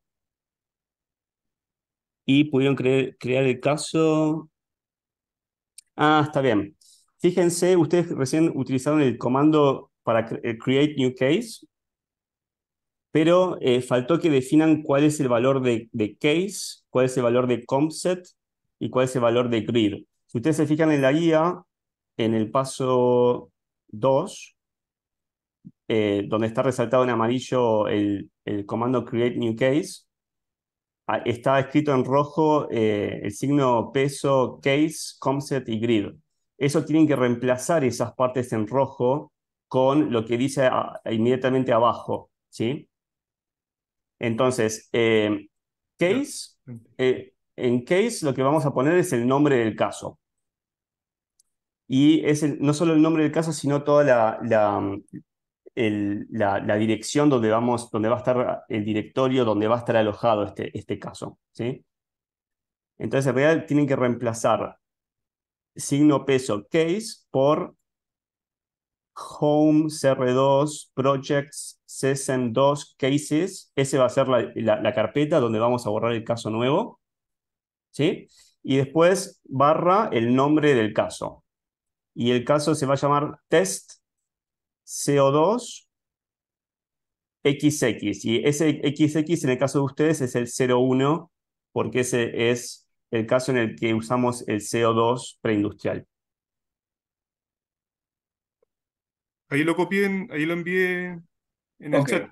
Debería estar bien. Igual revíselo. Sí, bueno, decía, estoy tratando de que tengo problemas de descargar la guía PDF, no. Ah, ok, ok. Por eso. Pero voy a, voy a copiarlo, si, si gusta me la podrían mandar por correo, no sé si es posible, pero voy a copiar el, todo el comando. Y dame tu correo y yo te lo puedo enviar. Si, si uno de ustedes tiene la guía, tal vez pueden compartirla entre ustedes. Em, sí. Pero yo, yo, les puedo mostrar cómo sería la, la estructura. Ahora lo voy a escribir por el grupo. Voy a darle con este comando. A ver, a ver, vamos a ver. Dice create new case. Bueno, hay un primer error que es donde dice guion guion case, hay que borrar el signo peso adelante de home, ¿sí? porque eso en realidad es una forma de indicar eh, dónde comienza el, input, pero ese signo de peso hay que borrarlo. Perfecto. Home, CR2, Projects, SN2, Cases, perfecto. Comset, F, hay que borrar el signo peso de vuelta. Ese también. Sí. La resolución es la, bueno, de vuelta borremos el signo de peso. Fíjense que eh, ¿Para, que el signo peso? Así está perfecto. Así debería funcionar.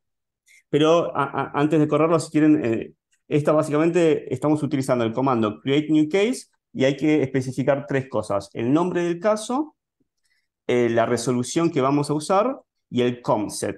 Y acá, como está explicado en la guía, el comset es, es un alias para decir qué tipo de simulación vamos a correr. Y cuando ponemos F1850, lo que estamos diciéndole a CSM es que queremos correr una simulación con la atmósfera y la Tierra para el año 1850, es decir, para el preindustrial. Así que con eso, por lo que estoy viendo, debería, a ver, estar bien. Perfecto. Ahí avanza, ahí, ahí se generó el caso, ¿sí? Así que bueno, sigan un poquito. La idea sería eh, que sigan hasta el caso, hasta el paso 6 inclusive. 7 eh, inclusive, perdón, 7 inclusive.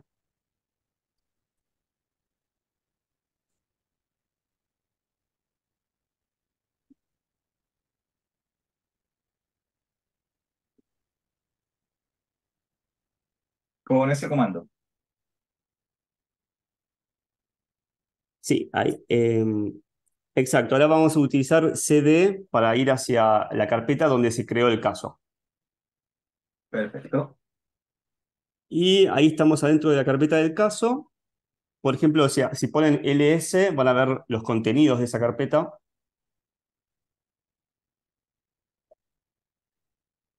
Ay, perdón, no, no, Ahí. Esos son los contenidos de la carpeta. Hay algunos directorios, unos archivos y unos comandos también. Así que bueno, los dejo con la guía y ahora vuelvo, voy a otro grupo y vengo. Mm. En la guía, vamos en, el último comando fue el comando 4, o sea, el punto 4, donde dice modificaciones al caso relacionadas a los recursos computacionales entonces vayamos al caso que generamos, que, se acaba de hacer, y dice que en esta librería eh, podemos utilizar los comandos X y X, o sea, son largos, para modificar y consultar sobre el archivo XML que se generó. los que controlan cómo se compila y cómo se ejecuta el modelo. Primero modificaremos la cantidad de nodos computacionales que se destinarán a correr el modelo. LeftTrau posee distintos tipos de nodos computacionales. Existen los nodos SLIMs, eh, cada uno de los cuales posee 20 núcleos, también llamados core o, CPUs, y nodos generales, los cuales poseen 44 núcleos por un nodo. Por defecto, la instalación en, de SEMS2 en Leftrarus utiliza nodos SLIMs. En este ejercicio, en cambio, utilizaremos nodos generales. Nodos generales. Nodos generales, es decir, con 88 núcleos. Como comparación, una MacBook Pro de última generación posee 8 núcleos. Para hacer estas modificaciones, eh, modificamos las variables hop, una cuestión súper larga. Mm. Y yo creo que hay que copiar estos códigos para, para especificar lo que vamos a hacer. Entonces voy pegando. Ok, los, los copio. Ah. Ahí mandé uno, que es el que hice el, del modo general. Modo general. Eh, pero voy copiando uno por uno. Sí, copia eso y lo pegáis en, el, en la, al lado del, en, en la línea de comando. Creo, supongo. Sí. Igual no pasa nada si eso. Ahí le oh. vas a especificar que ocupa los nodos general. Sí. Eh, no el comando no he encontrado. ¿Y sabes que quitar el signo peso? Eh, claro, el signo sí. peso. Sí, el signo peso.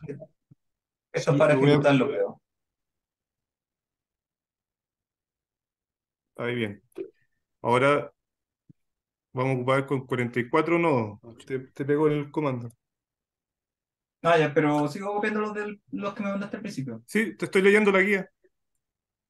Perfecto, gracias. Sí que no sé qué me pasa con internet, no sé si es producto de haberme conectado acá que como que Puede ser que te esté ocupando mucho, pero no, no creo, porque en realidad estoy ocupando recursos de allá, no, no los tuyos.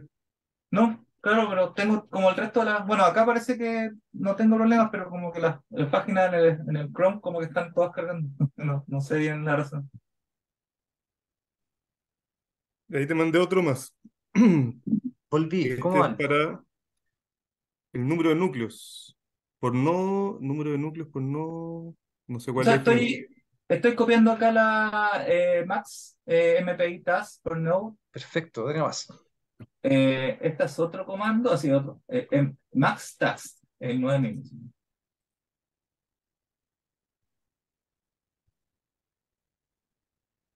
Ah, Y el siguiente que viene es este.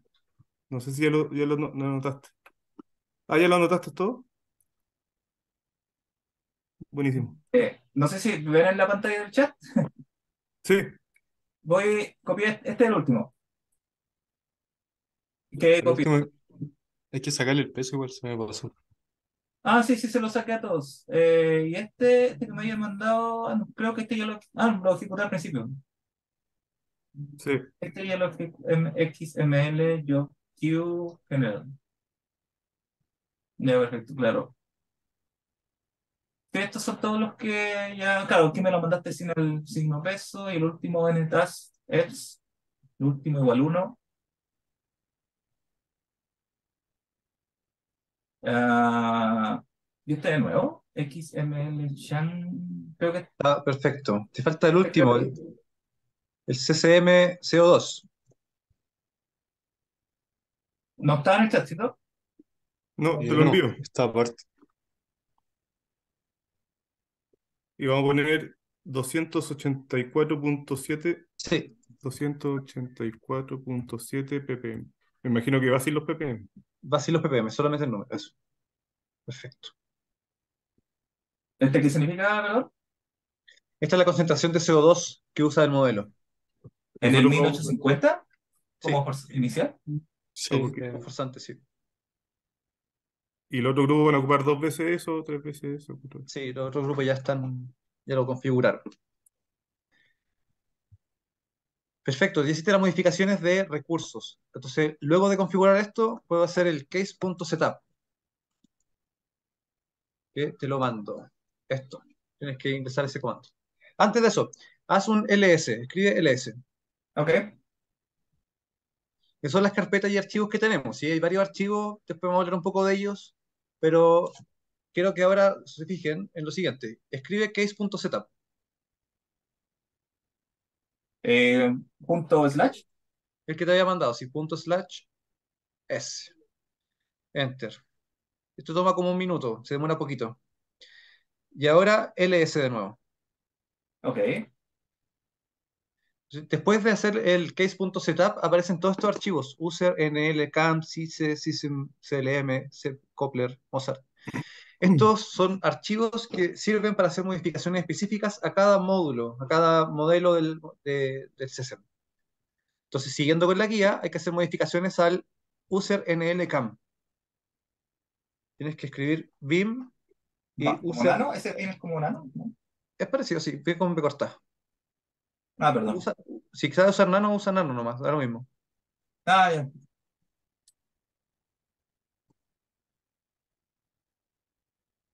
Eh, ese. ¿Cierto? En, en LL guion bajo. Sí, ese es, sí. Bien, y tienes que agregar las cuatro líneas que te mandé. Ok. Entonces, estas cuatro líneas lo que hacen es que la primera dice que no registre ninguna variable excepto las que uno especifica.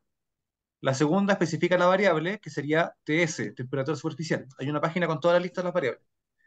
Eh, la segunda registra la frecuencia. Cuando es un número menor que cero, dice las horas en las cuales vamos a registrar. En este caso serían cada seis horas. Cuando es mayor que cero, el número de días. Cuando es igual a cero, un promedio mensual. Y el segundo especifica cuántos datos ponemos en cada archivo. Y aquí pusimos 13 porque la simulación va a durar eh, cuatro días, eh, tres días. Tres días son cuatro archivos, entonces va a quedar todo justo en uno. Y hay que sumar un archivo, por eso son 13 y no 12. Bien, eso hay que guardarlo. Fabián, disculpa, ¿siempre se suma uno? ¿O en este caso se suma uno? Siempre se suma uno porque yo en general nunca ocupo esa variable, dejo los archivos solo y después los compilo nomás. Pero No se suma uno verificando. porque ese es como que da la primera iteración temporal, es como, como que no la registra. En realidad la segunda es la que empieza a contar. Una, es una cosa rara. Ah. Entonces siempre sobra un archivo. Bien, ahí tienes que grabar y salir. Sí, Y ahora clavado. métete al user NL CLM.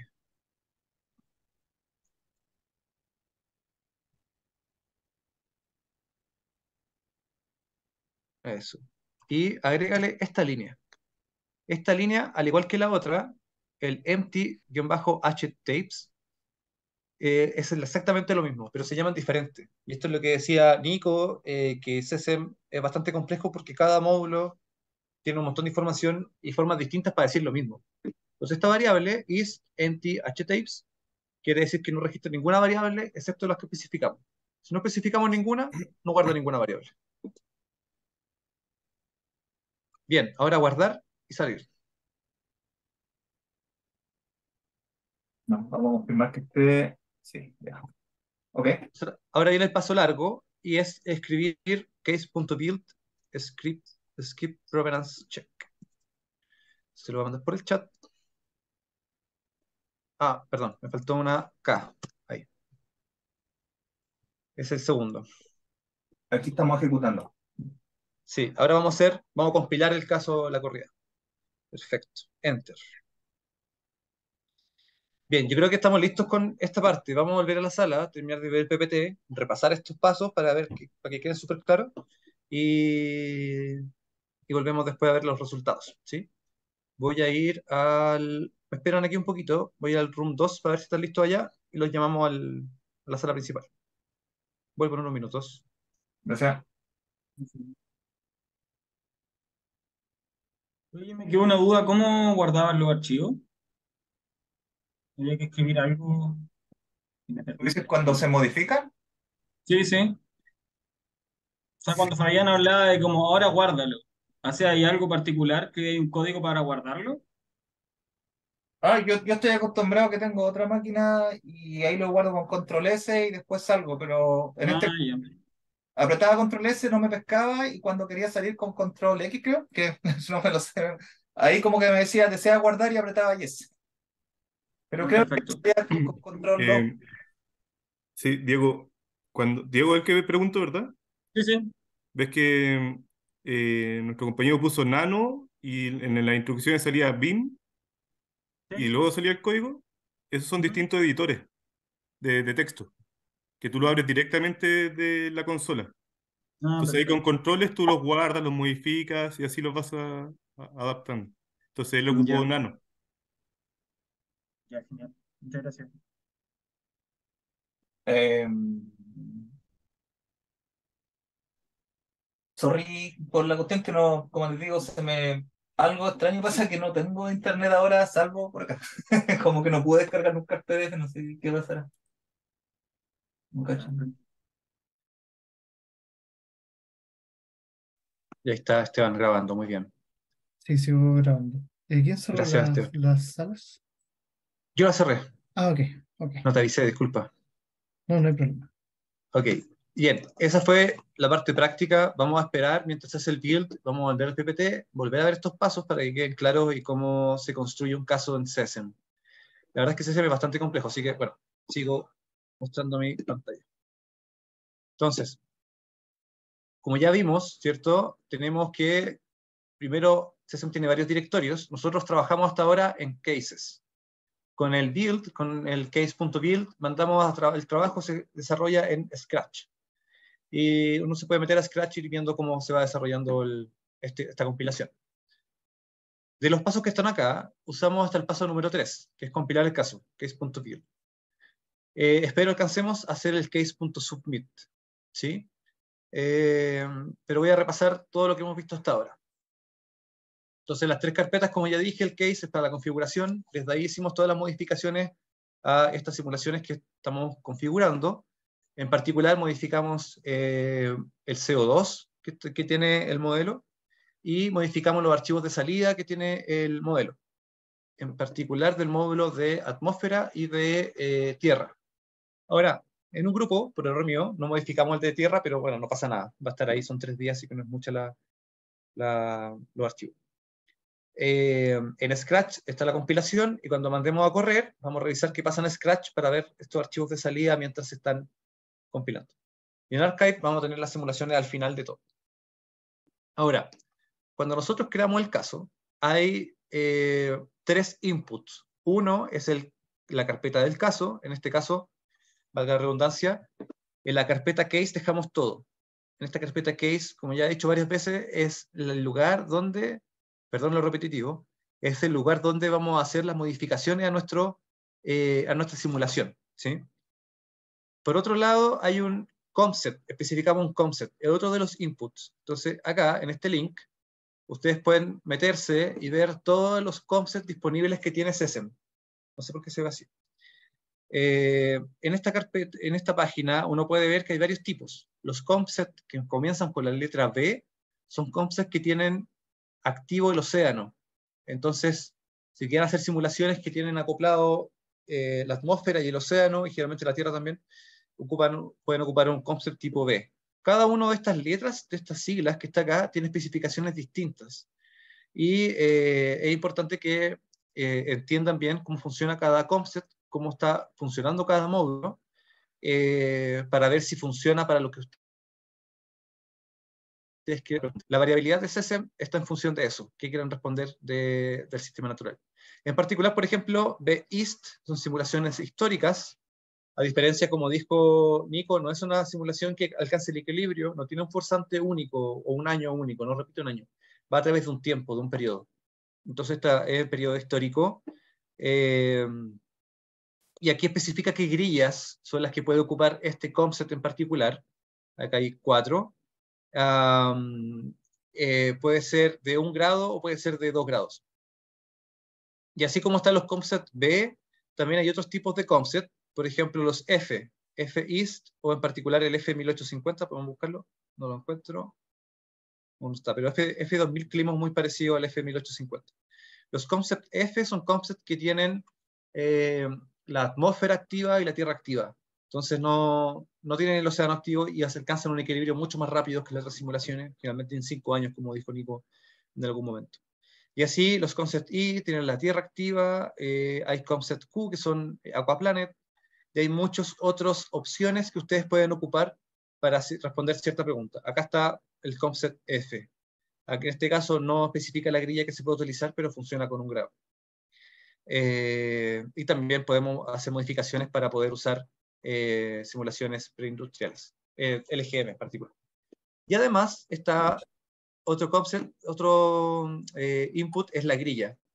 Una pregunta, una pregunta. Cualquier pregunta puede ser en el chat. y en la página de las grillas, al igual que la de los concepts, pueden ver la nomenclatura, qué significa cada este nombre largo, y cada una de las grillas disponibles. Se ponen aquí todas, hay muchos tipos de grillas diferentes, grillas tipo C, la F, hay grillas de un grado, de dos grados, y bueno, hay una infinidad de grillas que pueden utilizar. Fabi.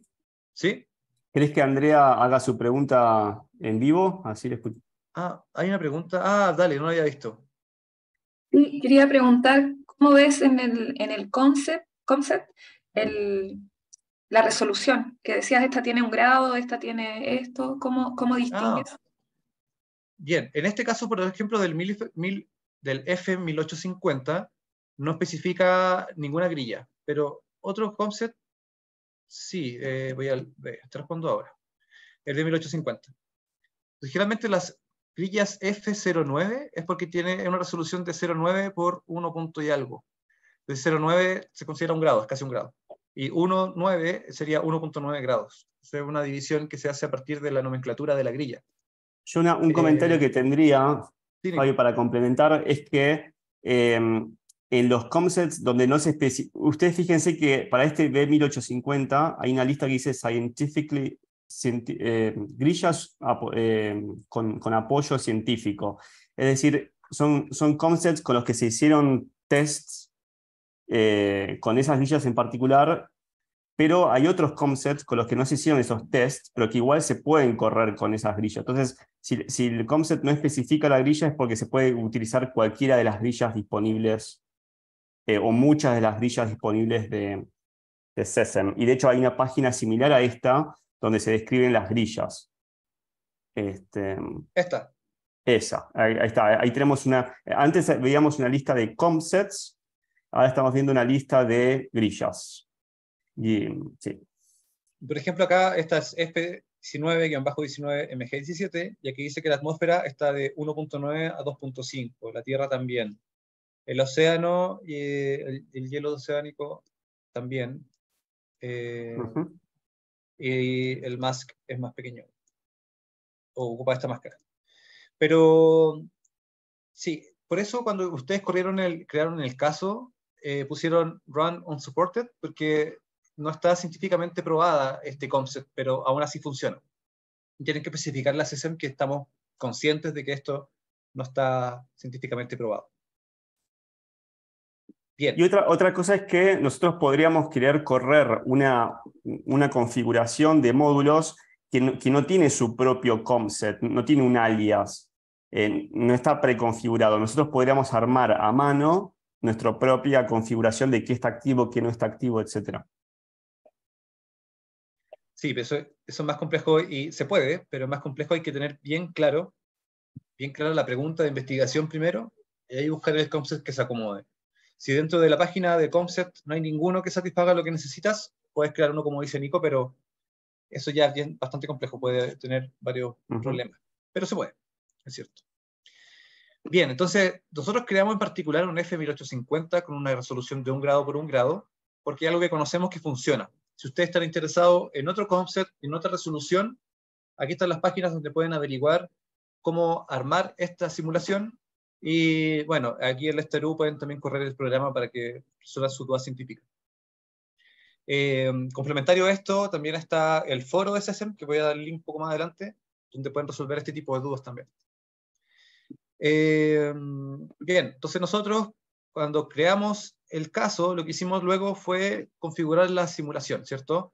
Configurar en particular los recursos que utilizamos. Y estos fueron los, recursos, los nodos por, los core por nodos, eh, qué partición ocupamos de, de en particular, y varias otras cosas, y esto lo hicimos, lo hicimos utilizando XML, Query y XML Change. Eh, queries para consultar y changes para cambiar. Así que si tiene, ahora ya no está corriendo el build, pero en caso de que ustedes no sepan si o se olvidaron si cambiaron alguna variable, pueden hacer XM, XM, oh, perdón, XML query y poner la variable y les va a dar el valor que tienen configurado hasta ese momento. Luego de definir los recursos, uno puede hacer el case.setup. Y es importante definirlos antes, porque se hace dentro de las complejidades que tiene, es que no se pueden modificar ciertas variables después de ciertos pasos. En particular, recursos no se pueden modificar después del case.setup. Algún recurso sí, pero vamos a ver después. Pero es importante seguir ese paso. Crear el caso, asignar los recursos que vamos a utilizar y luego hacer el case.setup. Y como vimos con varias personas, eh, creo que lo vimos en todos los grupos, el case.setup crea estos user NL, CAM o CLM o CICE, que son módulos o archivos que son para modificar específicamente cada módulo. Eso fue lo que hicieron ustedes. En CAM le dijeron, guarda solamente esta variable con esta frecuencia. A CLM, excepto el grupo, que fue culpa mía, no le especificaron que guardara, va a guardar todas las variables de CLM. Y así, cada uno de los módulos puede especificar este tipo de variaciones.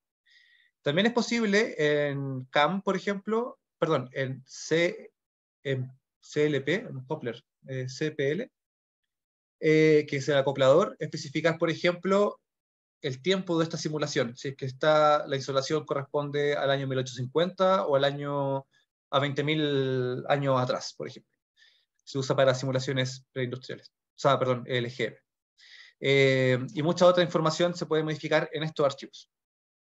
Entonces son estas dos formas de modificar la simulación, con XML change y con los user NL eh, según el módulo.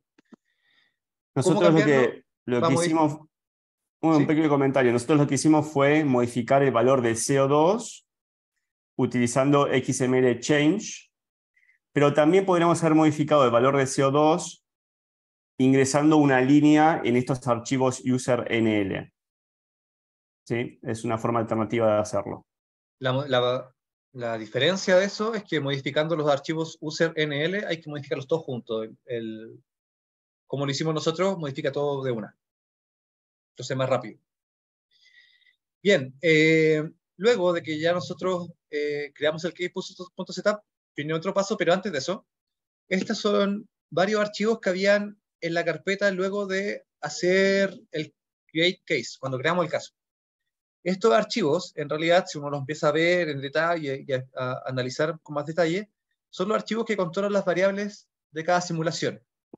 End-archive.xml eh, especifica reglas para el script de corto plazo en case.starchive, que vamos a modificar en breve. Eh, en batch crea, eh, define configuraciones específicas para el batch y así. Cada uno de estos archivos va eh, modificando cada uno de las variables del, eh, de la simulación. El PS, por ejemplo, cambia eh, los recursos que se van a utilizar para la simulación. Y SSM no recomienda o no se recomienda modificar directamente estos archivos. Para modificarlos se ocupa XML change. Y si quieren saber de alguna de las variables que están acá definidas, se ocupa XML query, ¿sí? Para hacer la, consulta. Bien, después que hicimos el, case.setup, podemos hacer el case.build. Pero como dije antes, luego del case.setup, tanto estos archivos user, nl y el módulo, y aquí podemos hacer las modificaciones. Luego que hacemos todas esas modificaciones, podemos hacer el case.build. Es importante hacerlo antes porque después de que se hace el case.build, no es posible modificar estos archivos. Este paso toma 20 minutos. Eh, quienes están metiendo las manos al clúster, avisen, por favor, si que ya están listos o no para poder eh, hacer los últimos pasos y correr la simulación. Esto, eh, bueno, toma tiempo, ¿cierto? Eh, descarga algunos input data cuando es necesario. En este caso no es necesario porque ya hemos probado este concept varias veces. Y luego de hacer el case.build, cuando se completa, hay que modificar dos archivos. Un archivo oculto, que es case.submit, y otro archivo que no es oculto, que es .starchive. Las especificaciones de, este, de, modificación de estos dos archivos están en la guía, las pueden ver, y es agregar dos líneas en realidad. Modificar una y agregar otra. Y finalmente... Perdón, chicos, en la versión nueva de la guía, sí que, que ya está disponible en el Git que compartimos en el curso. Y finalmente, esto se puede hacer en cualquier momento, pero es modificar el tiempo de corrida. Y para esto hay que modificar con XML change. Esta variable es top-option y especificar, en este caso, para nuestra simulación, ndays, número de días, y stop-n, que uno puede ingresar cualquier natural. Entonces, por ejemplo, si yo la opción que tengo para la corrida es n years, y pongo 5, quiere decir que va a correr por 5 años la simulación.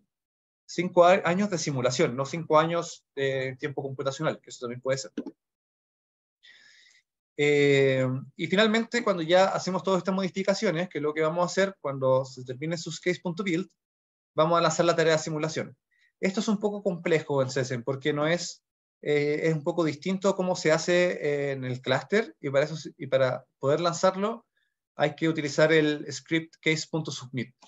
Y por eso es importante hacer las modificaciones anteriormente a estos dos archivos, porque tiene las especificaciones de las variables del clúster que vamos a utilizar.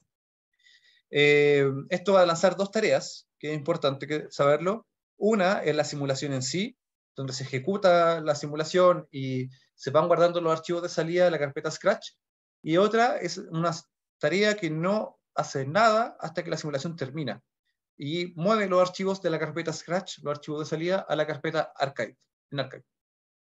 Entonces, durante la simulación, eh, al tiro de Ernesto, durante la simulación eh, podemos ver eh, estos archivos de la carpeta Scratch y cuando termina podemos ir a la carpeta Archive con nombre de la simulación para poder ver cómo finalizó esta simulación. Ernesto, levanto la mano. Sí, estaba revisando lo, que tú mencionabas y la guía, y en ninguna parte veo, por ejemplo, cuando se define un mes ni el año. Solamente dijimos que vamos a usar el Comset F1850, pero en ningún momento veo que se defina ese tipo de información. Creo que es el paso número 7 o 9, debe ser.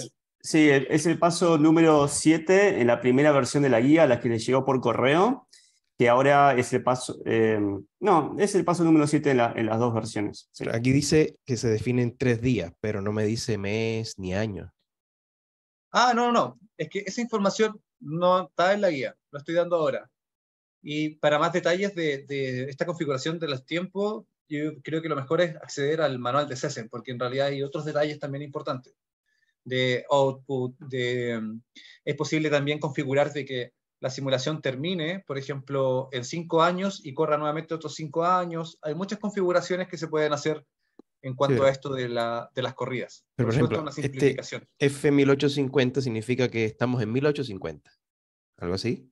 Que ocupan los input data de 1850, sí. Exacto. Queremos hacer una simulación del clima del año 1850. Empezando el 1 de enero, o en un año, tres años, tres días, representativo. No, es, que, es, que, pasa que lo que vamos a hacer es una simulación de tipo de equilibrio, es decir, no vamos a modificar los, los, los, eh, los forzantes y las condiciones de contorno. No es que vamos a correr, por ejemplo, tres años de 1850 a 1853, sino que vamos a correr siempre con el, con el clima de 1850, es decir, con los forzantes de 1850, con las condiciones de contorno de 1850, vamos a correr tres años de modelo pero no es un tiempo de la realidad, no es que vamos a correr del año 1850 al año 1853, sino que vamos a correr tres años, eh, un modelo climático tres años, siempre con, el forzante de 1850. ¿Se entiende? Esta es la distinción que Nico nombraba que eran simulaciones de equilibrio o simulaciones en las cuales los eh, inputs variaban, se llama simulaciones históricas hay tipos de simulaciones que van desde 1850, por ejemplo, hasta el presente. Claro, pero si yo, por ejemplo, quiero no, no, no ir hacia allá, yo, yo, estoy interesado más hacia, hacia acá, no sé, año 2015. No entiendo cuál es acá y cuál es allá. Es decir, más, un periodo más actual. 2015. Quiero simular el año 2015 para que me dé condiciones de contorno para un modelo regional, que es para lo que quizá a mí me, me, preocupa este, este modelo. Eh, ¿Cómo yo le especifico que sean tres días de este año específicamente? ¿O eso no se puede hacer? Hay dos, cosas, hay dos cosas ahí que son interesantes. Primero, eh, va a depender primero de, la, de qué fenómeno quieras estudiar.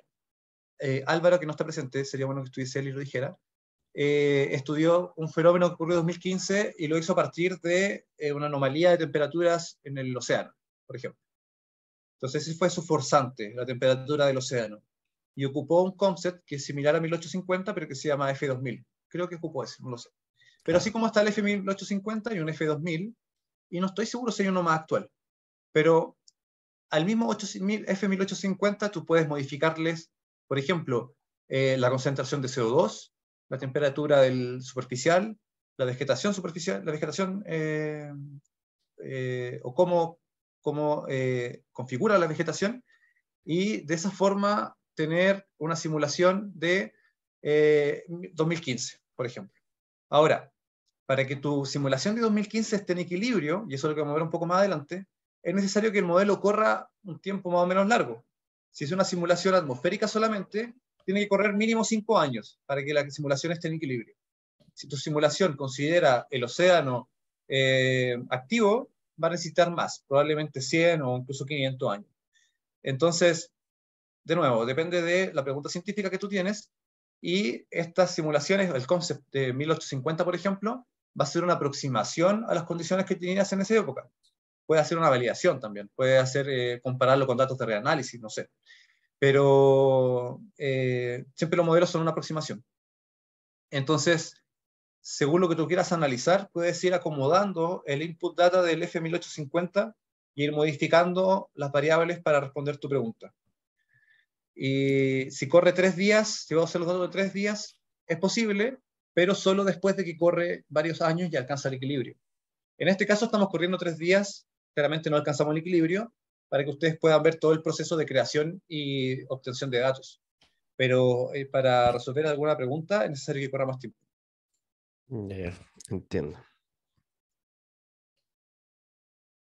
Bien, Bien, creo que tal vez ya estamos acercándonos a la hora, tal vez podríamos eh, continuar con el siguiente paso, que es probablemente ya se han compilado los casos, ahora tenemos que enviarlos. Eso. Eh, bueno, modificamos los casos y eh, los enviamos con case.submit.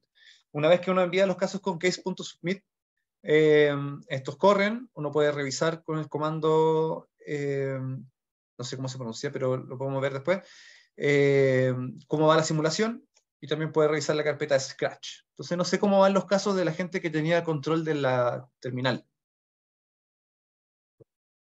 Una vez que se termina de compilar el caso, deberíamos ver un mensaje que dice que la compilación fue exitosa en inglés. ¿Cómo Alonso parece que tenía acceso o no? Maura, no me acuerdo quiénes estaban ahí. Alonso, Maura y Ernesto. Acá no está listo, dice Maura. Sí, el mío dice Mozart Build in 98 segundos. Todavía está ahí. No, falta, falta todavía. Perfecto. Falta bastante.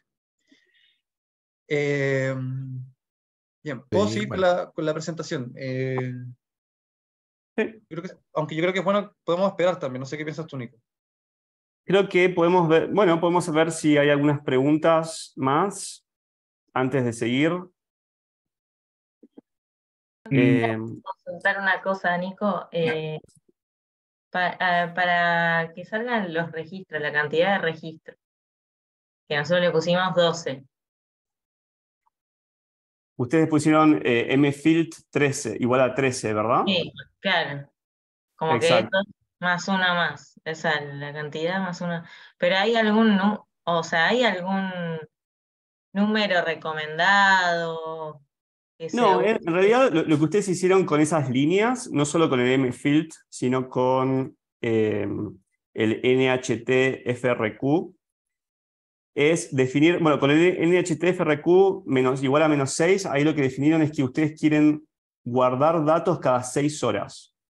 ¿sí? El modelo corre, eh, el, paso temporal del modelo es mucho más chico que eso, pero eh, ustedes definen cada cuánto guardar los archivos, porque si no necesitaríamos teras y teras de datos, ¿no?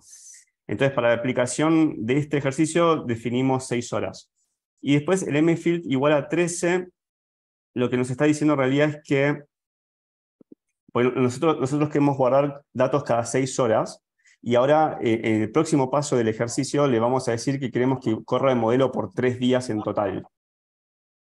Entonces, si, si queremos que corra el modelo por tres días y que guarde cada seis horas, tendríamos 6 por 4, 24, o sea, serían 12 salidas ¿sí? de datos.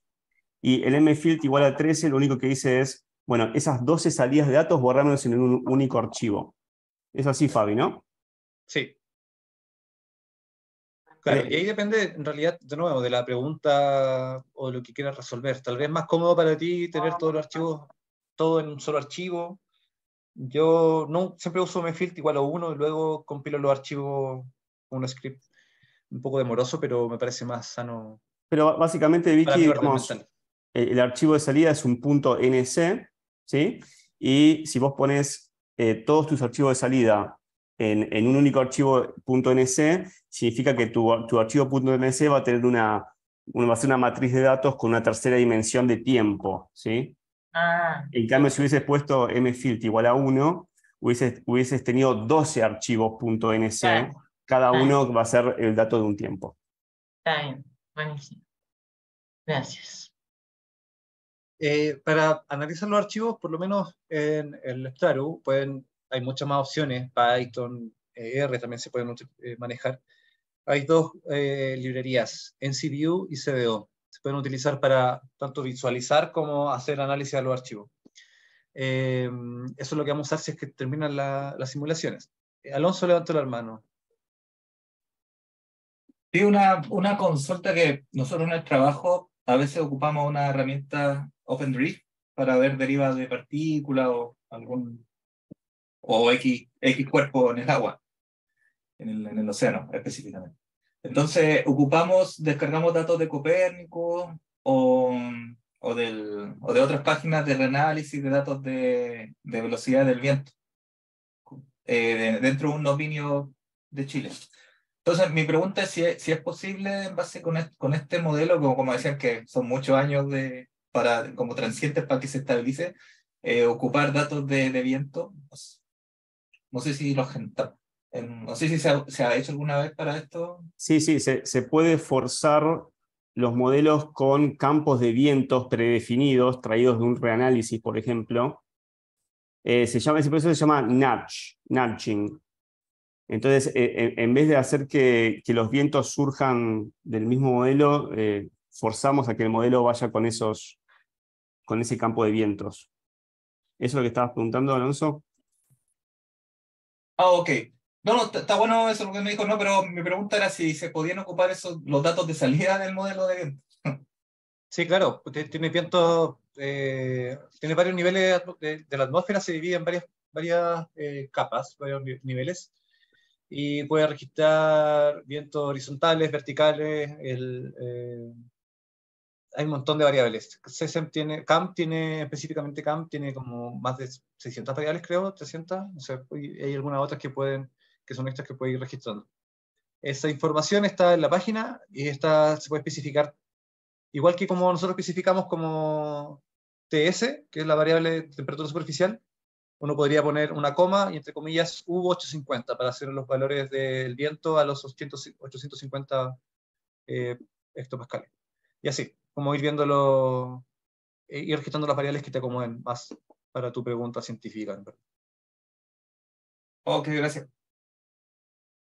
Eh, bien, voy a seguir un poco con, con, el PPT, no nos queda mucho que mostrar, pero eh, en esta penúltima diapositiva les dejo otros tutoriales de SESEM, hay varios PPT y hay videos en YouTube, está todo en inglés, pero hay subtítulos creo, y que explican cómo correr un, modelo, cómo funciona la, eh, el modelo de tierra, y son bastante específicos, así que si están interesados en algún módulo en particular, pueden visitar esta, esta página. Además, está la página del foro.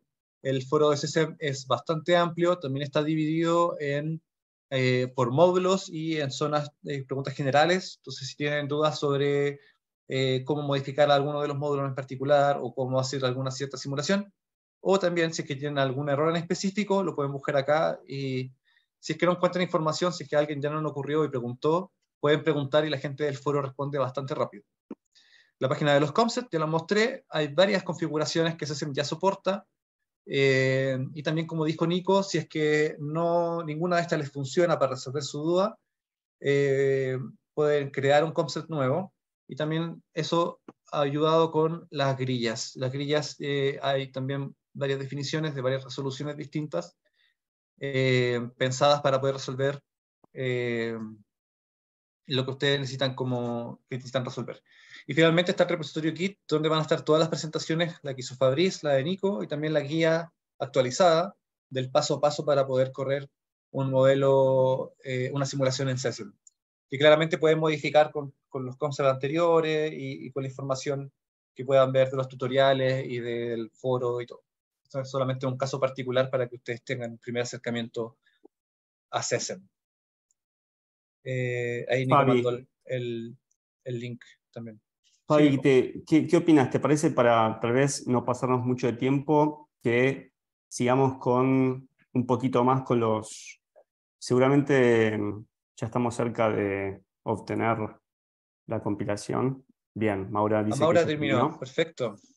Em, tal vez no tengamos tiempo para hacer un análisis eh, post-procesas, o sea, digamos, de visualizar los datos, pero al menos sí de completar los pasos que faltan.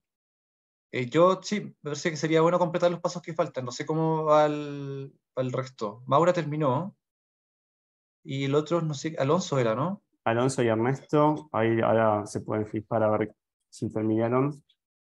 Eh, y tal vez en ese caso lo que haríamos es. Sí, Alonso dice que terminó. Maura también.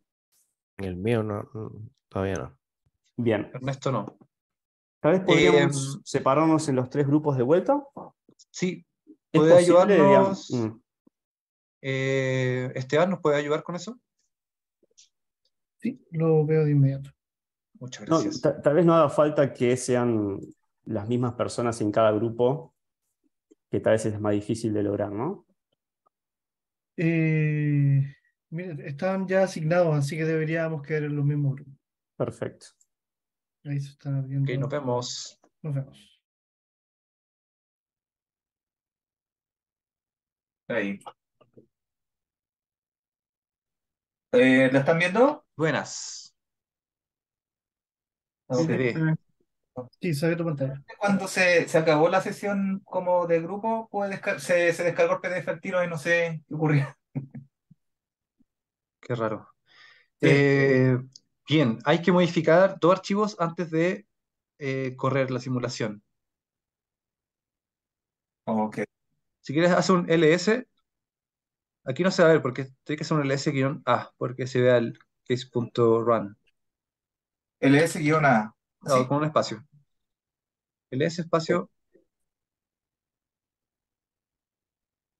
Y no, y el A pegado al guion. Ok. Ahí apareció, debería aparecer el, ahí está. Es el último de la columna de la derecha. Punto .case.run. Ok, eh, lo modifico. Ya. Eso. Entonces aquí eh, hay que modificar solamente las de arriba, las que dicen ese batch, eh, las memorias por CPU, eso está bien, debería ser 4250, está perfecto. Y tienes que agregar una línea. Pones gato, ese batch. Está un poco más abajo en la guía, parece, ¿no? Vamos a verlo. Em, a ver dónde habíamos quedado.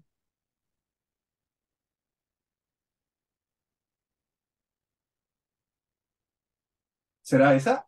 Sí, No, eso es. esa la es Tienes que, tienes que agregar esa, la reservation.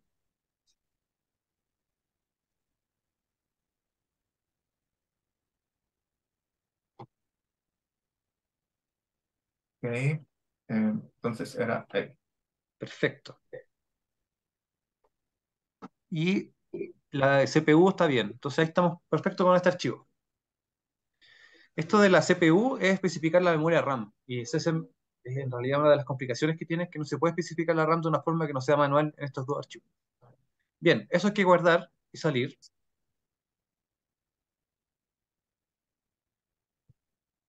Aquí era eh, control Ah, me parece. Yes. Ahí está. A ver, deja confirmar. Sí. Ok. Ya. Ya. Entonces ahora lo que tienes que hacer antes del case.submit, en realidad nos saltamos un paso, está mucho más atrás. Tienes que definir el tiempo de corrida. Ok. Entonces ahora escribe e, el, es el paso 7, XML change. XML change. Sí. Este. Ese, sí. Ah, ejecuto esta. Puedes escribir, de hecho, algo más rápido. Es, sí, cópialo, cópialo y pégalo. Pero no lo ejecutes todavía. Ok. Puedes hacer un espacio y escribir el otro. Stop option igual ndays. Espacio. Bien. Eso.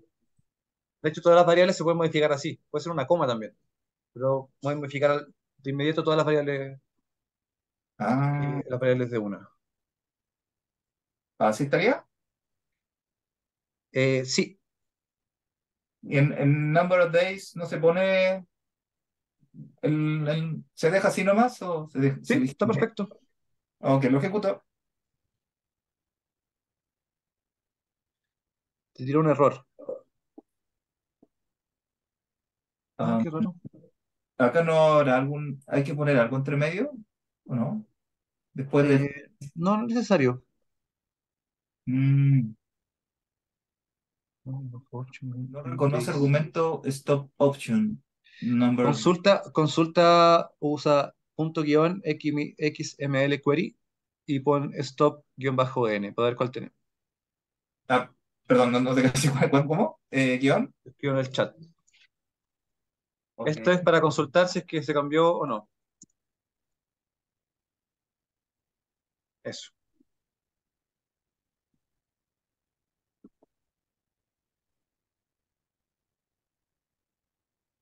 Ah, creo que no se cambió. Ya, cambia, entonces cambia el top, el n. Yo creo que tal vez el problema es que no falta una coma. Tal vez para consultar puede haber espacio. Así que O- si quieres, escribe hacia arriba. Arriba, arriba, ahí. Y en vez del espacio, deja una coma. En vez del espacio, tú dices- Entre el. Ahí, sí, eso. es. Ah, sí. Sí. Aprieta Enter. Ahí sí. Ese fue error mío. Pido disculpas. Entonces ahora puedes consulta de nuevo. Hace hacia arriba y pregunta por el stop n. Y sabes que son tres. Y de nuevo arriba, option. Y puedes borrar la n y escribir option. Ahí, Eh, eso. Option, ¿verdad? Stop-option. Stop en bajo. Ah, perdón. Eso. Ok. Entonces ahí estamos listos, sabemos que son, están días, que son tres, y ya compraste todos los pasos, entonces ahora lo pueden someter al caso. Modificamos los archivos, especificamos la RAM, especificamos también que va a ser eh, una, tiene una, res- una reserva asociada.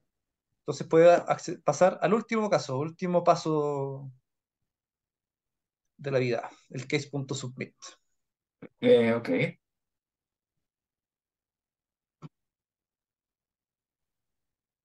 Vamos, le doy nomás. Dale nomás. Ok. ¿Con esto estamos eh, tirando la simulación? Sí. Entonces cuando termina esto te da dos, dos números de, de corrida, eh, que son ahí, los que están ahí, los últimos, y los puedes consultar con el comando que te mandé. Por chat. Ok, skew. Es, no sé cómo se pronuncia eso. Sí, como es muy difícil. Eh, Dale. ¿Primero? No, no, Ah, no. ahí. simplemente escribo nomás. Sí, ahí está corriendo. Y la simulación de abajo es la simula, o sea, perdón, la, tarea de abajo, run.test, es, lleva 20 segundos, está ocupando ese, ese nodo y eh, está en funcionamiento. Si lo ejecutas de nuevo, ejecútalo de nuevo. El SQ. Sí. Ahora lleva 40 segundos. La eh, tarea de arriba es una tarea que no va a hacer nada hasta que la simulación termine. Entonces, ahora, esto lo vamos a ver después en el grupo, pero ingresa este comando. CR2. Eh, aquí se puede ver el tail, ¿no? Scratch. ¿Cómo se llama tu simulación? Ah, uy, el nombre. Ahí, Ahí está, test. Es test. Punto. Esto sería más fácil. Ahí, pero no importa. 01. Ah, me equivoqué. No copies lo que te mandé. Ok. Es, es latch. Ahí ya. Eso sí. Entonces ahora vamos a ir a la carpeta Scratch para ver cómo va la simulación. Entonces ahí, ahora nos cambiamos de directorio, ya no estamos en Case, estamos en Scratch. Entonces ahora ingresa ls con un guion ltr. L para que sea una lista, T para que los ponga en orden temporal y R para que los dé vuelta, o al revés. Enter. Entonces hay varios archivos y se van a ir modificando de a poco. Si puedes expandir tu pantalla hacia la derecha, podemos... eso, para que sea más claro. Entonces, hay varios archivos que se van a ir modificando y de a poco, en algún momento, van a empezar a salir los eh, archivos de salida. Entonces, puede ir haciendo varios eh, ls-ltr, si eres ansioso, puedes verlo cada un minuto. Si no, los puedes dejar y, y ahí dejarlos libres. Pero los archivos de salida los puedes ir viendo eh, acá. Ok. Aquí, por ejemplo, el case status, la hora de cambio, bueno, es la misma, pero eh, voy a ir registrando la hora de modificación de cada uno de los archivos. Eh, va a tomar un par de minutos hasta que salga el primer output file.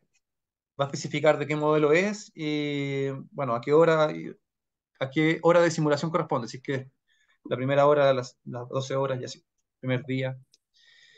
Bien, acá hay que esperar. Así que si quieren, siguen observando esto, voy a ir a otro grupo a ver cómo van. Fabián, ¿Les parece? Fabián, ¿Sí? ¿me ¿Natalia? Sí, quisiera hacerte una consulta. Dime. Lo que pasa es que el XML change, lo que hace, lo que entiendo es que hace es que cambia líneas de código de SEMS Sí, por los datos que tú quieres modificar.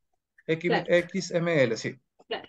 Mi duda es que eh, anteriormente eh, nosotros creamos estos archivos eh, NL, ¿verdad?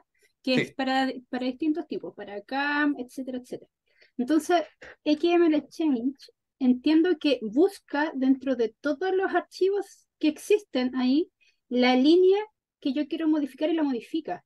Yo podría, eh, yo podría hacerlo ingresando el archivo NL, buscar esa línea y modificarla. Es, hay, es hay que cosas que se puede, hay cosas que se pueden modificar de las dos formas, con el archivo NL y con el, el XML change. ¿Y En cómo el caso del sé cuál? CO2, el CO2, por ejemplo, se puede modificar. Eh, hay, Porque- CAM, por ejemplo, tiene un montón de, un listado de variables que tú puedes modificar específicamente desde el archivo NL y muchas veces tus XML, no todas, pero casi todas son variables que tienen que ver con los recursos que ocupa la simulación, la partición que ocupa la simulación, eh, y tienen que ver con cosas del acoplador. Ya, Eh, saber entonces cuáles sí, son depende de, de la pregunta científica en realidad. Eh, la aproximación, yo creo que en el foro, o sea, en la página SESEM está toda la información, en el manual de SESEM, pero además en el foro uno puede preguntar, oye, tengo esta variable, ¿cómo la, cómo la modifico? Y la gente que se especializa en, en ese módulo te va a responder muy rápido. Mm. Yo la verdad es que no desconozco cuáles son todas las variables y todas Claro. las modificaciones, pero, pero por sí ejemplo, la el número de días que yo voy a simular, eso no está en el CAM, en el archivo No. CAM, eso es como genérico. Eso es genérico, sí. En general, lo genérico va con los XML, como Ya. los tiempos de corrida, los recursos, la partición, y el resto, cosas más específicas de cada módulo, es en el archivo user.nl. Claro, Hay cosas que coinciden, igual, pero en igual se puede hacer con el XML change, no igual Yo no, no, por ejemplo, los output file no los puedes modificar con el XML, claro, hasta pero donde sé. Es solamente en el user.nl. Ya, perfecto. Eso es, vale. Bueno, ahí entonces, eh, ¿qué está compartiendo eh, Alonso, no? Sí. Alonso, ahí anda revisando. Yo creo que ya pueden haber salido output file. Eh, debería estar abajo, generalmente. Se por un par de minutos. Pero debería estar corriendo. Si quieres saber si es que está corriendo, puedes hacer el SQ. para ver si es que Oh. sigue la, la corrida. Aunque esté en Scratch, da lo mismo. Aunque, sí, aunque esté en Scratch. Ahora lleva cinco minutos la simulación. Entonces ahí sabemos que está corriendo la simulación y esperemos que salgan luego los output files. Vuelvo en unos minutos. Vemos. Ok. Nos vemos. Entonces, ¿acá cuántos días estábamos corriendo? ¿Tres días? Sí, tres días. Cada Tres seis días, horas. Cada, cada seis seis horas un horas. dato. Debería entregar un archivo con 12 datos. ¿Pero de qué fecha? Eh, no, no, no es fecha, es número de, es como la, el largo de la simulación. Ah, Eh. partió se supone en el preindustrial. En el 1850, pero no. Ahí, ahí me pierdo porque si- la- el punto de referencia de esos tres días. Claro, no es- es- entiendo que es como un ejercicio X, ¿no? Es como Sí. desde el preindustrial tres días hacia el pasado.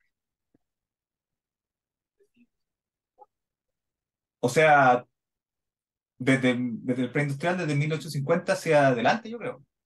Como... Es que no, no me acuerdo si esta simulación es, eh, es como hacia el pasado, hacia adelante. Esa parte me perdí, que yo llegué un poco tarde. Pero sé, sé que Mm. son tres días, a partir de 1850, pero no me acuerdo si hacia adelante o hacia atrás. Y hay que preguntar. Pero de todas maneras, debería entregarnos un archivo en HDF con 12 datos. Y ahí podemos ver. Ah. Bien.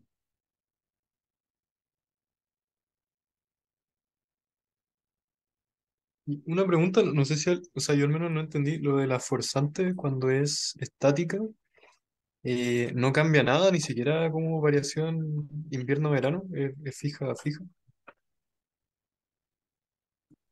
¿Cómo, cómo comunica? Mm, Porque entiendo que la transiente es una, son series de tiempo, o sea.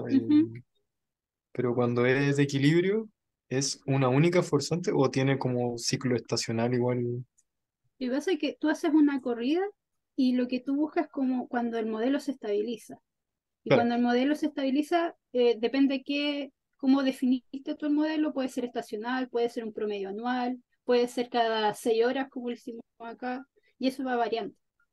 Ah, Pero ya, depende de lo que tú, lo que tú busques en la simulación.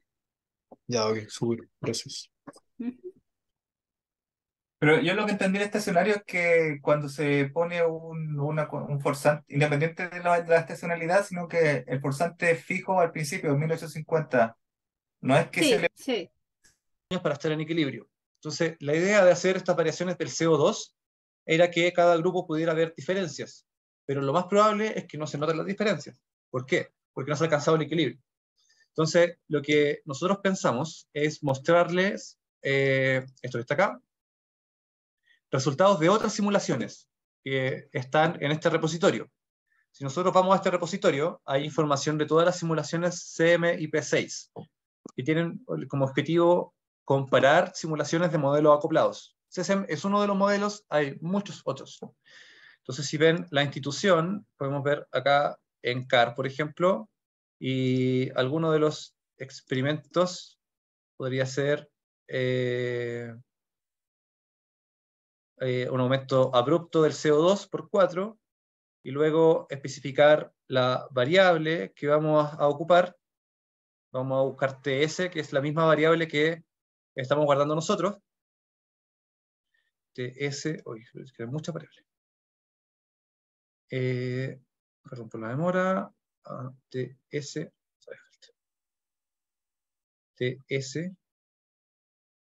me pasé. TS, y buscamos la información que nosotros queremos, van a aparecer varias opciones, ¿sí? Y podemos descargar la información.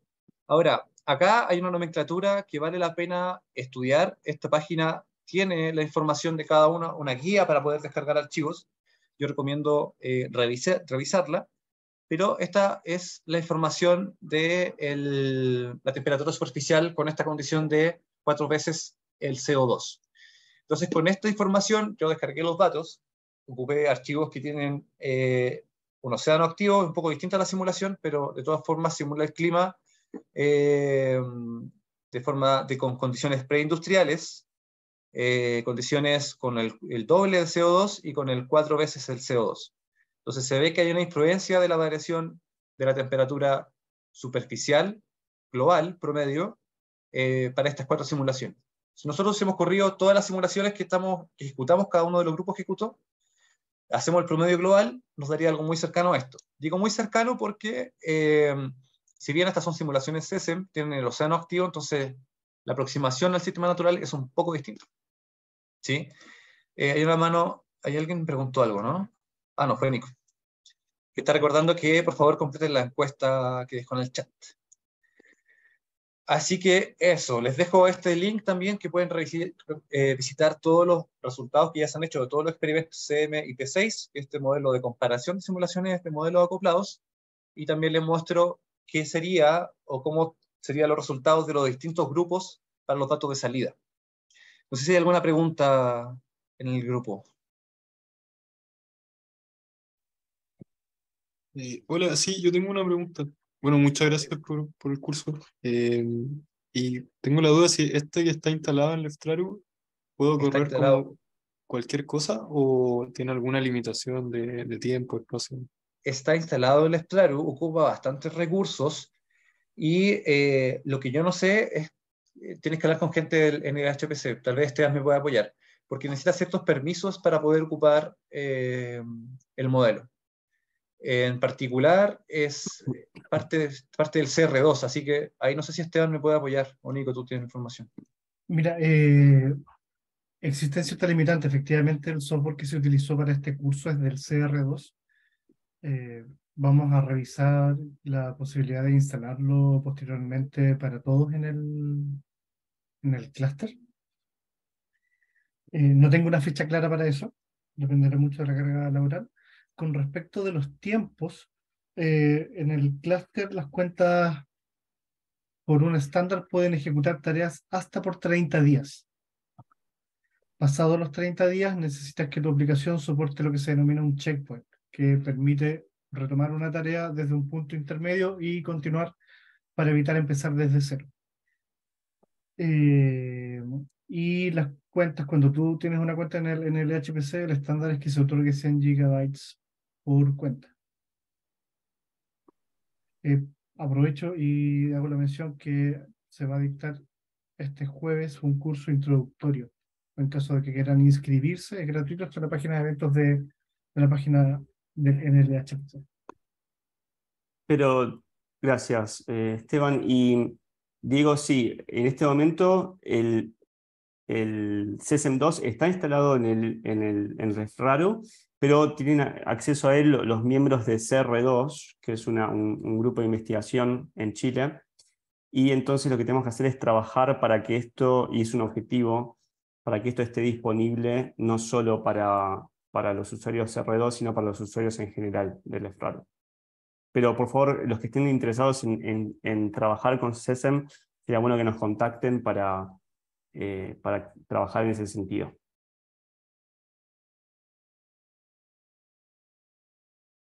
Bien, Fabi, ¿crees que podemos darlo por terminado acá? ¿Qué opinas? Yo creo que sí. Eh, de todas formas, aquí sale un archivo, hay un, output file y cargué la librería CDO.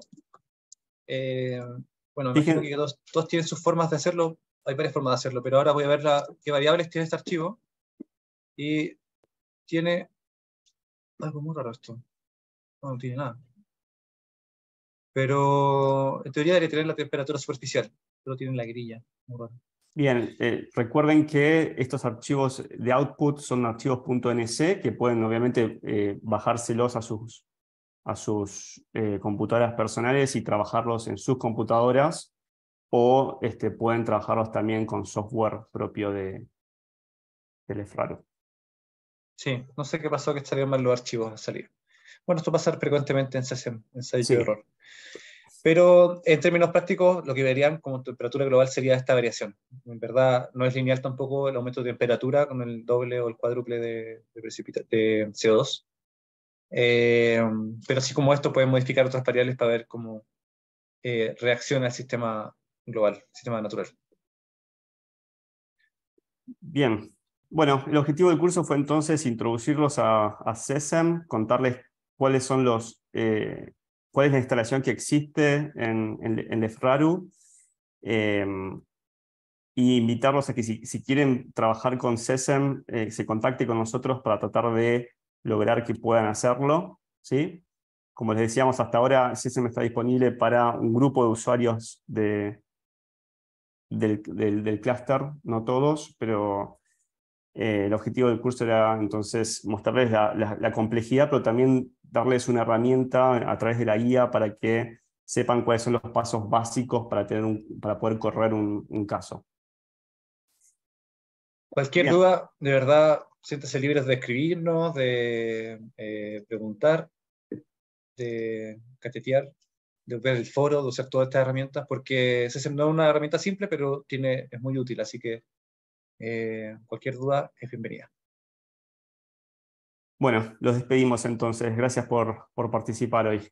Sí, muchas gracias. Muchas gracias. Que estén muy bien. Gracias. Gracias.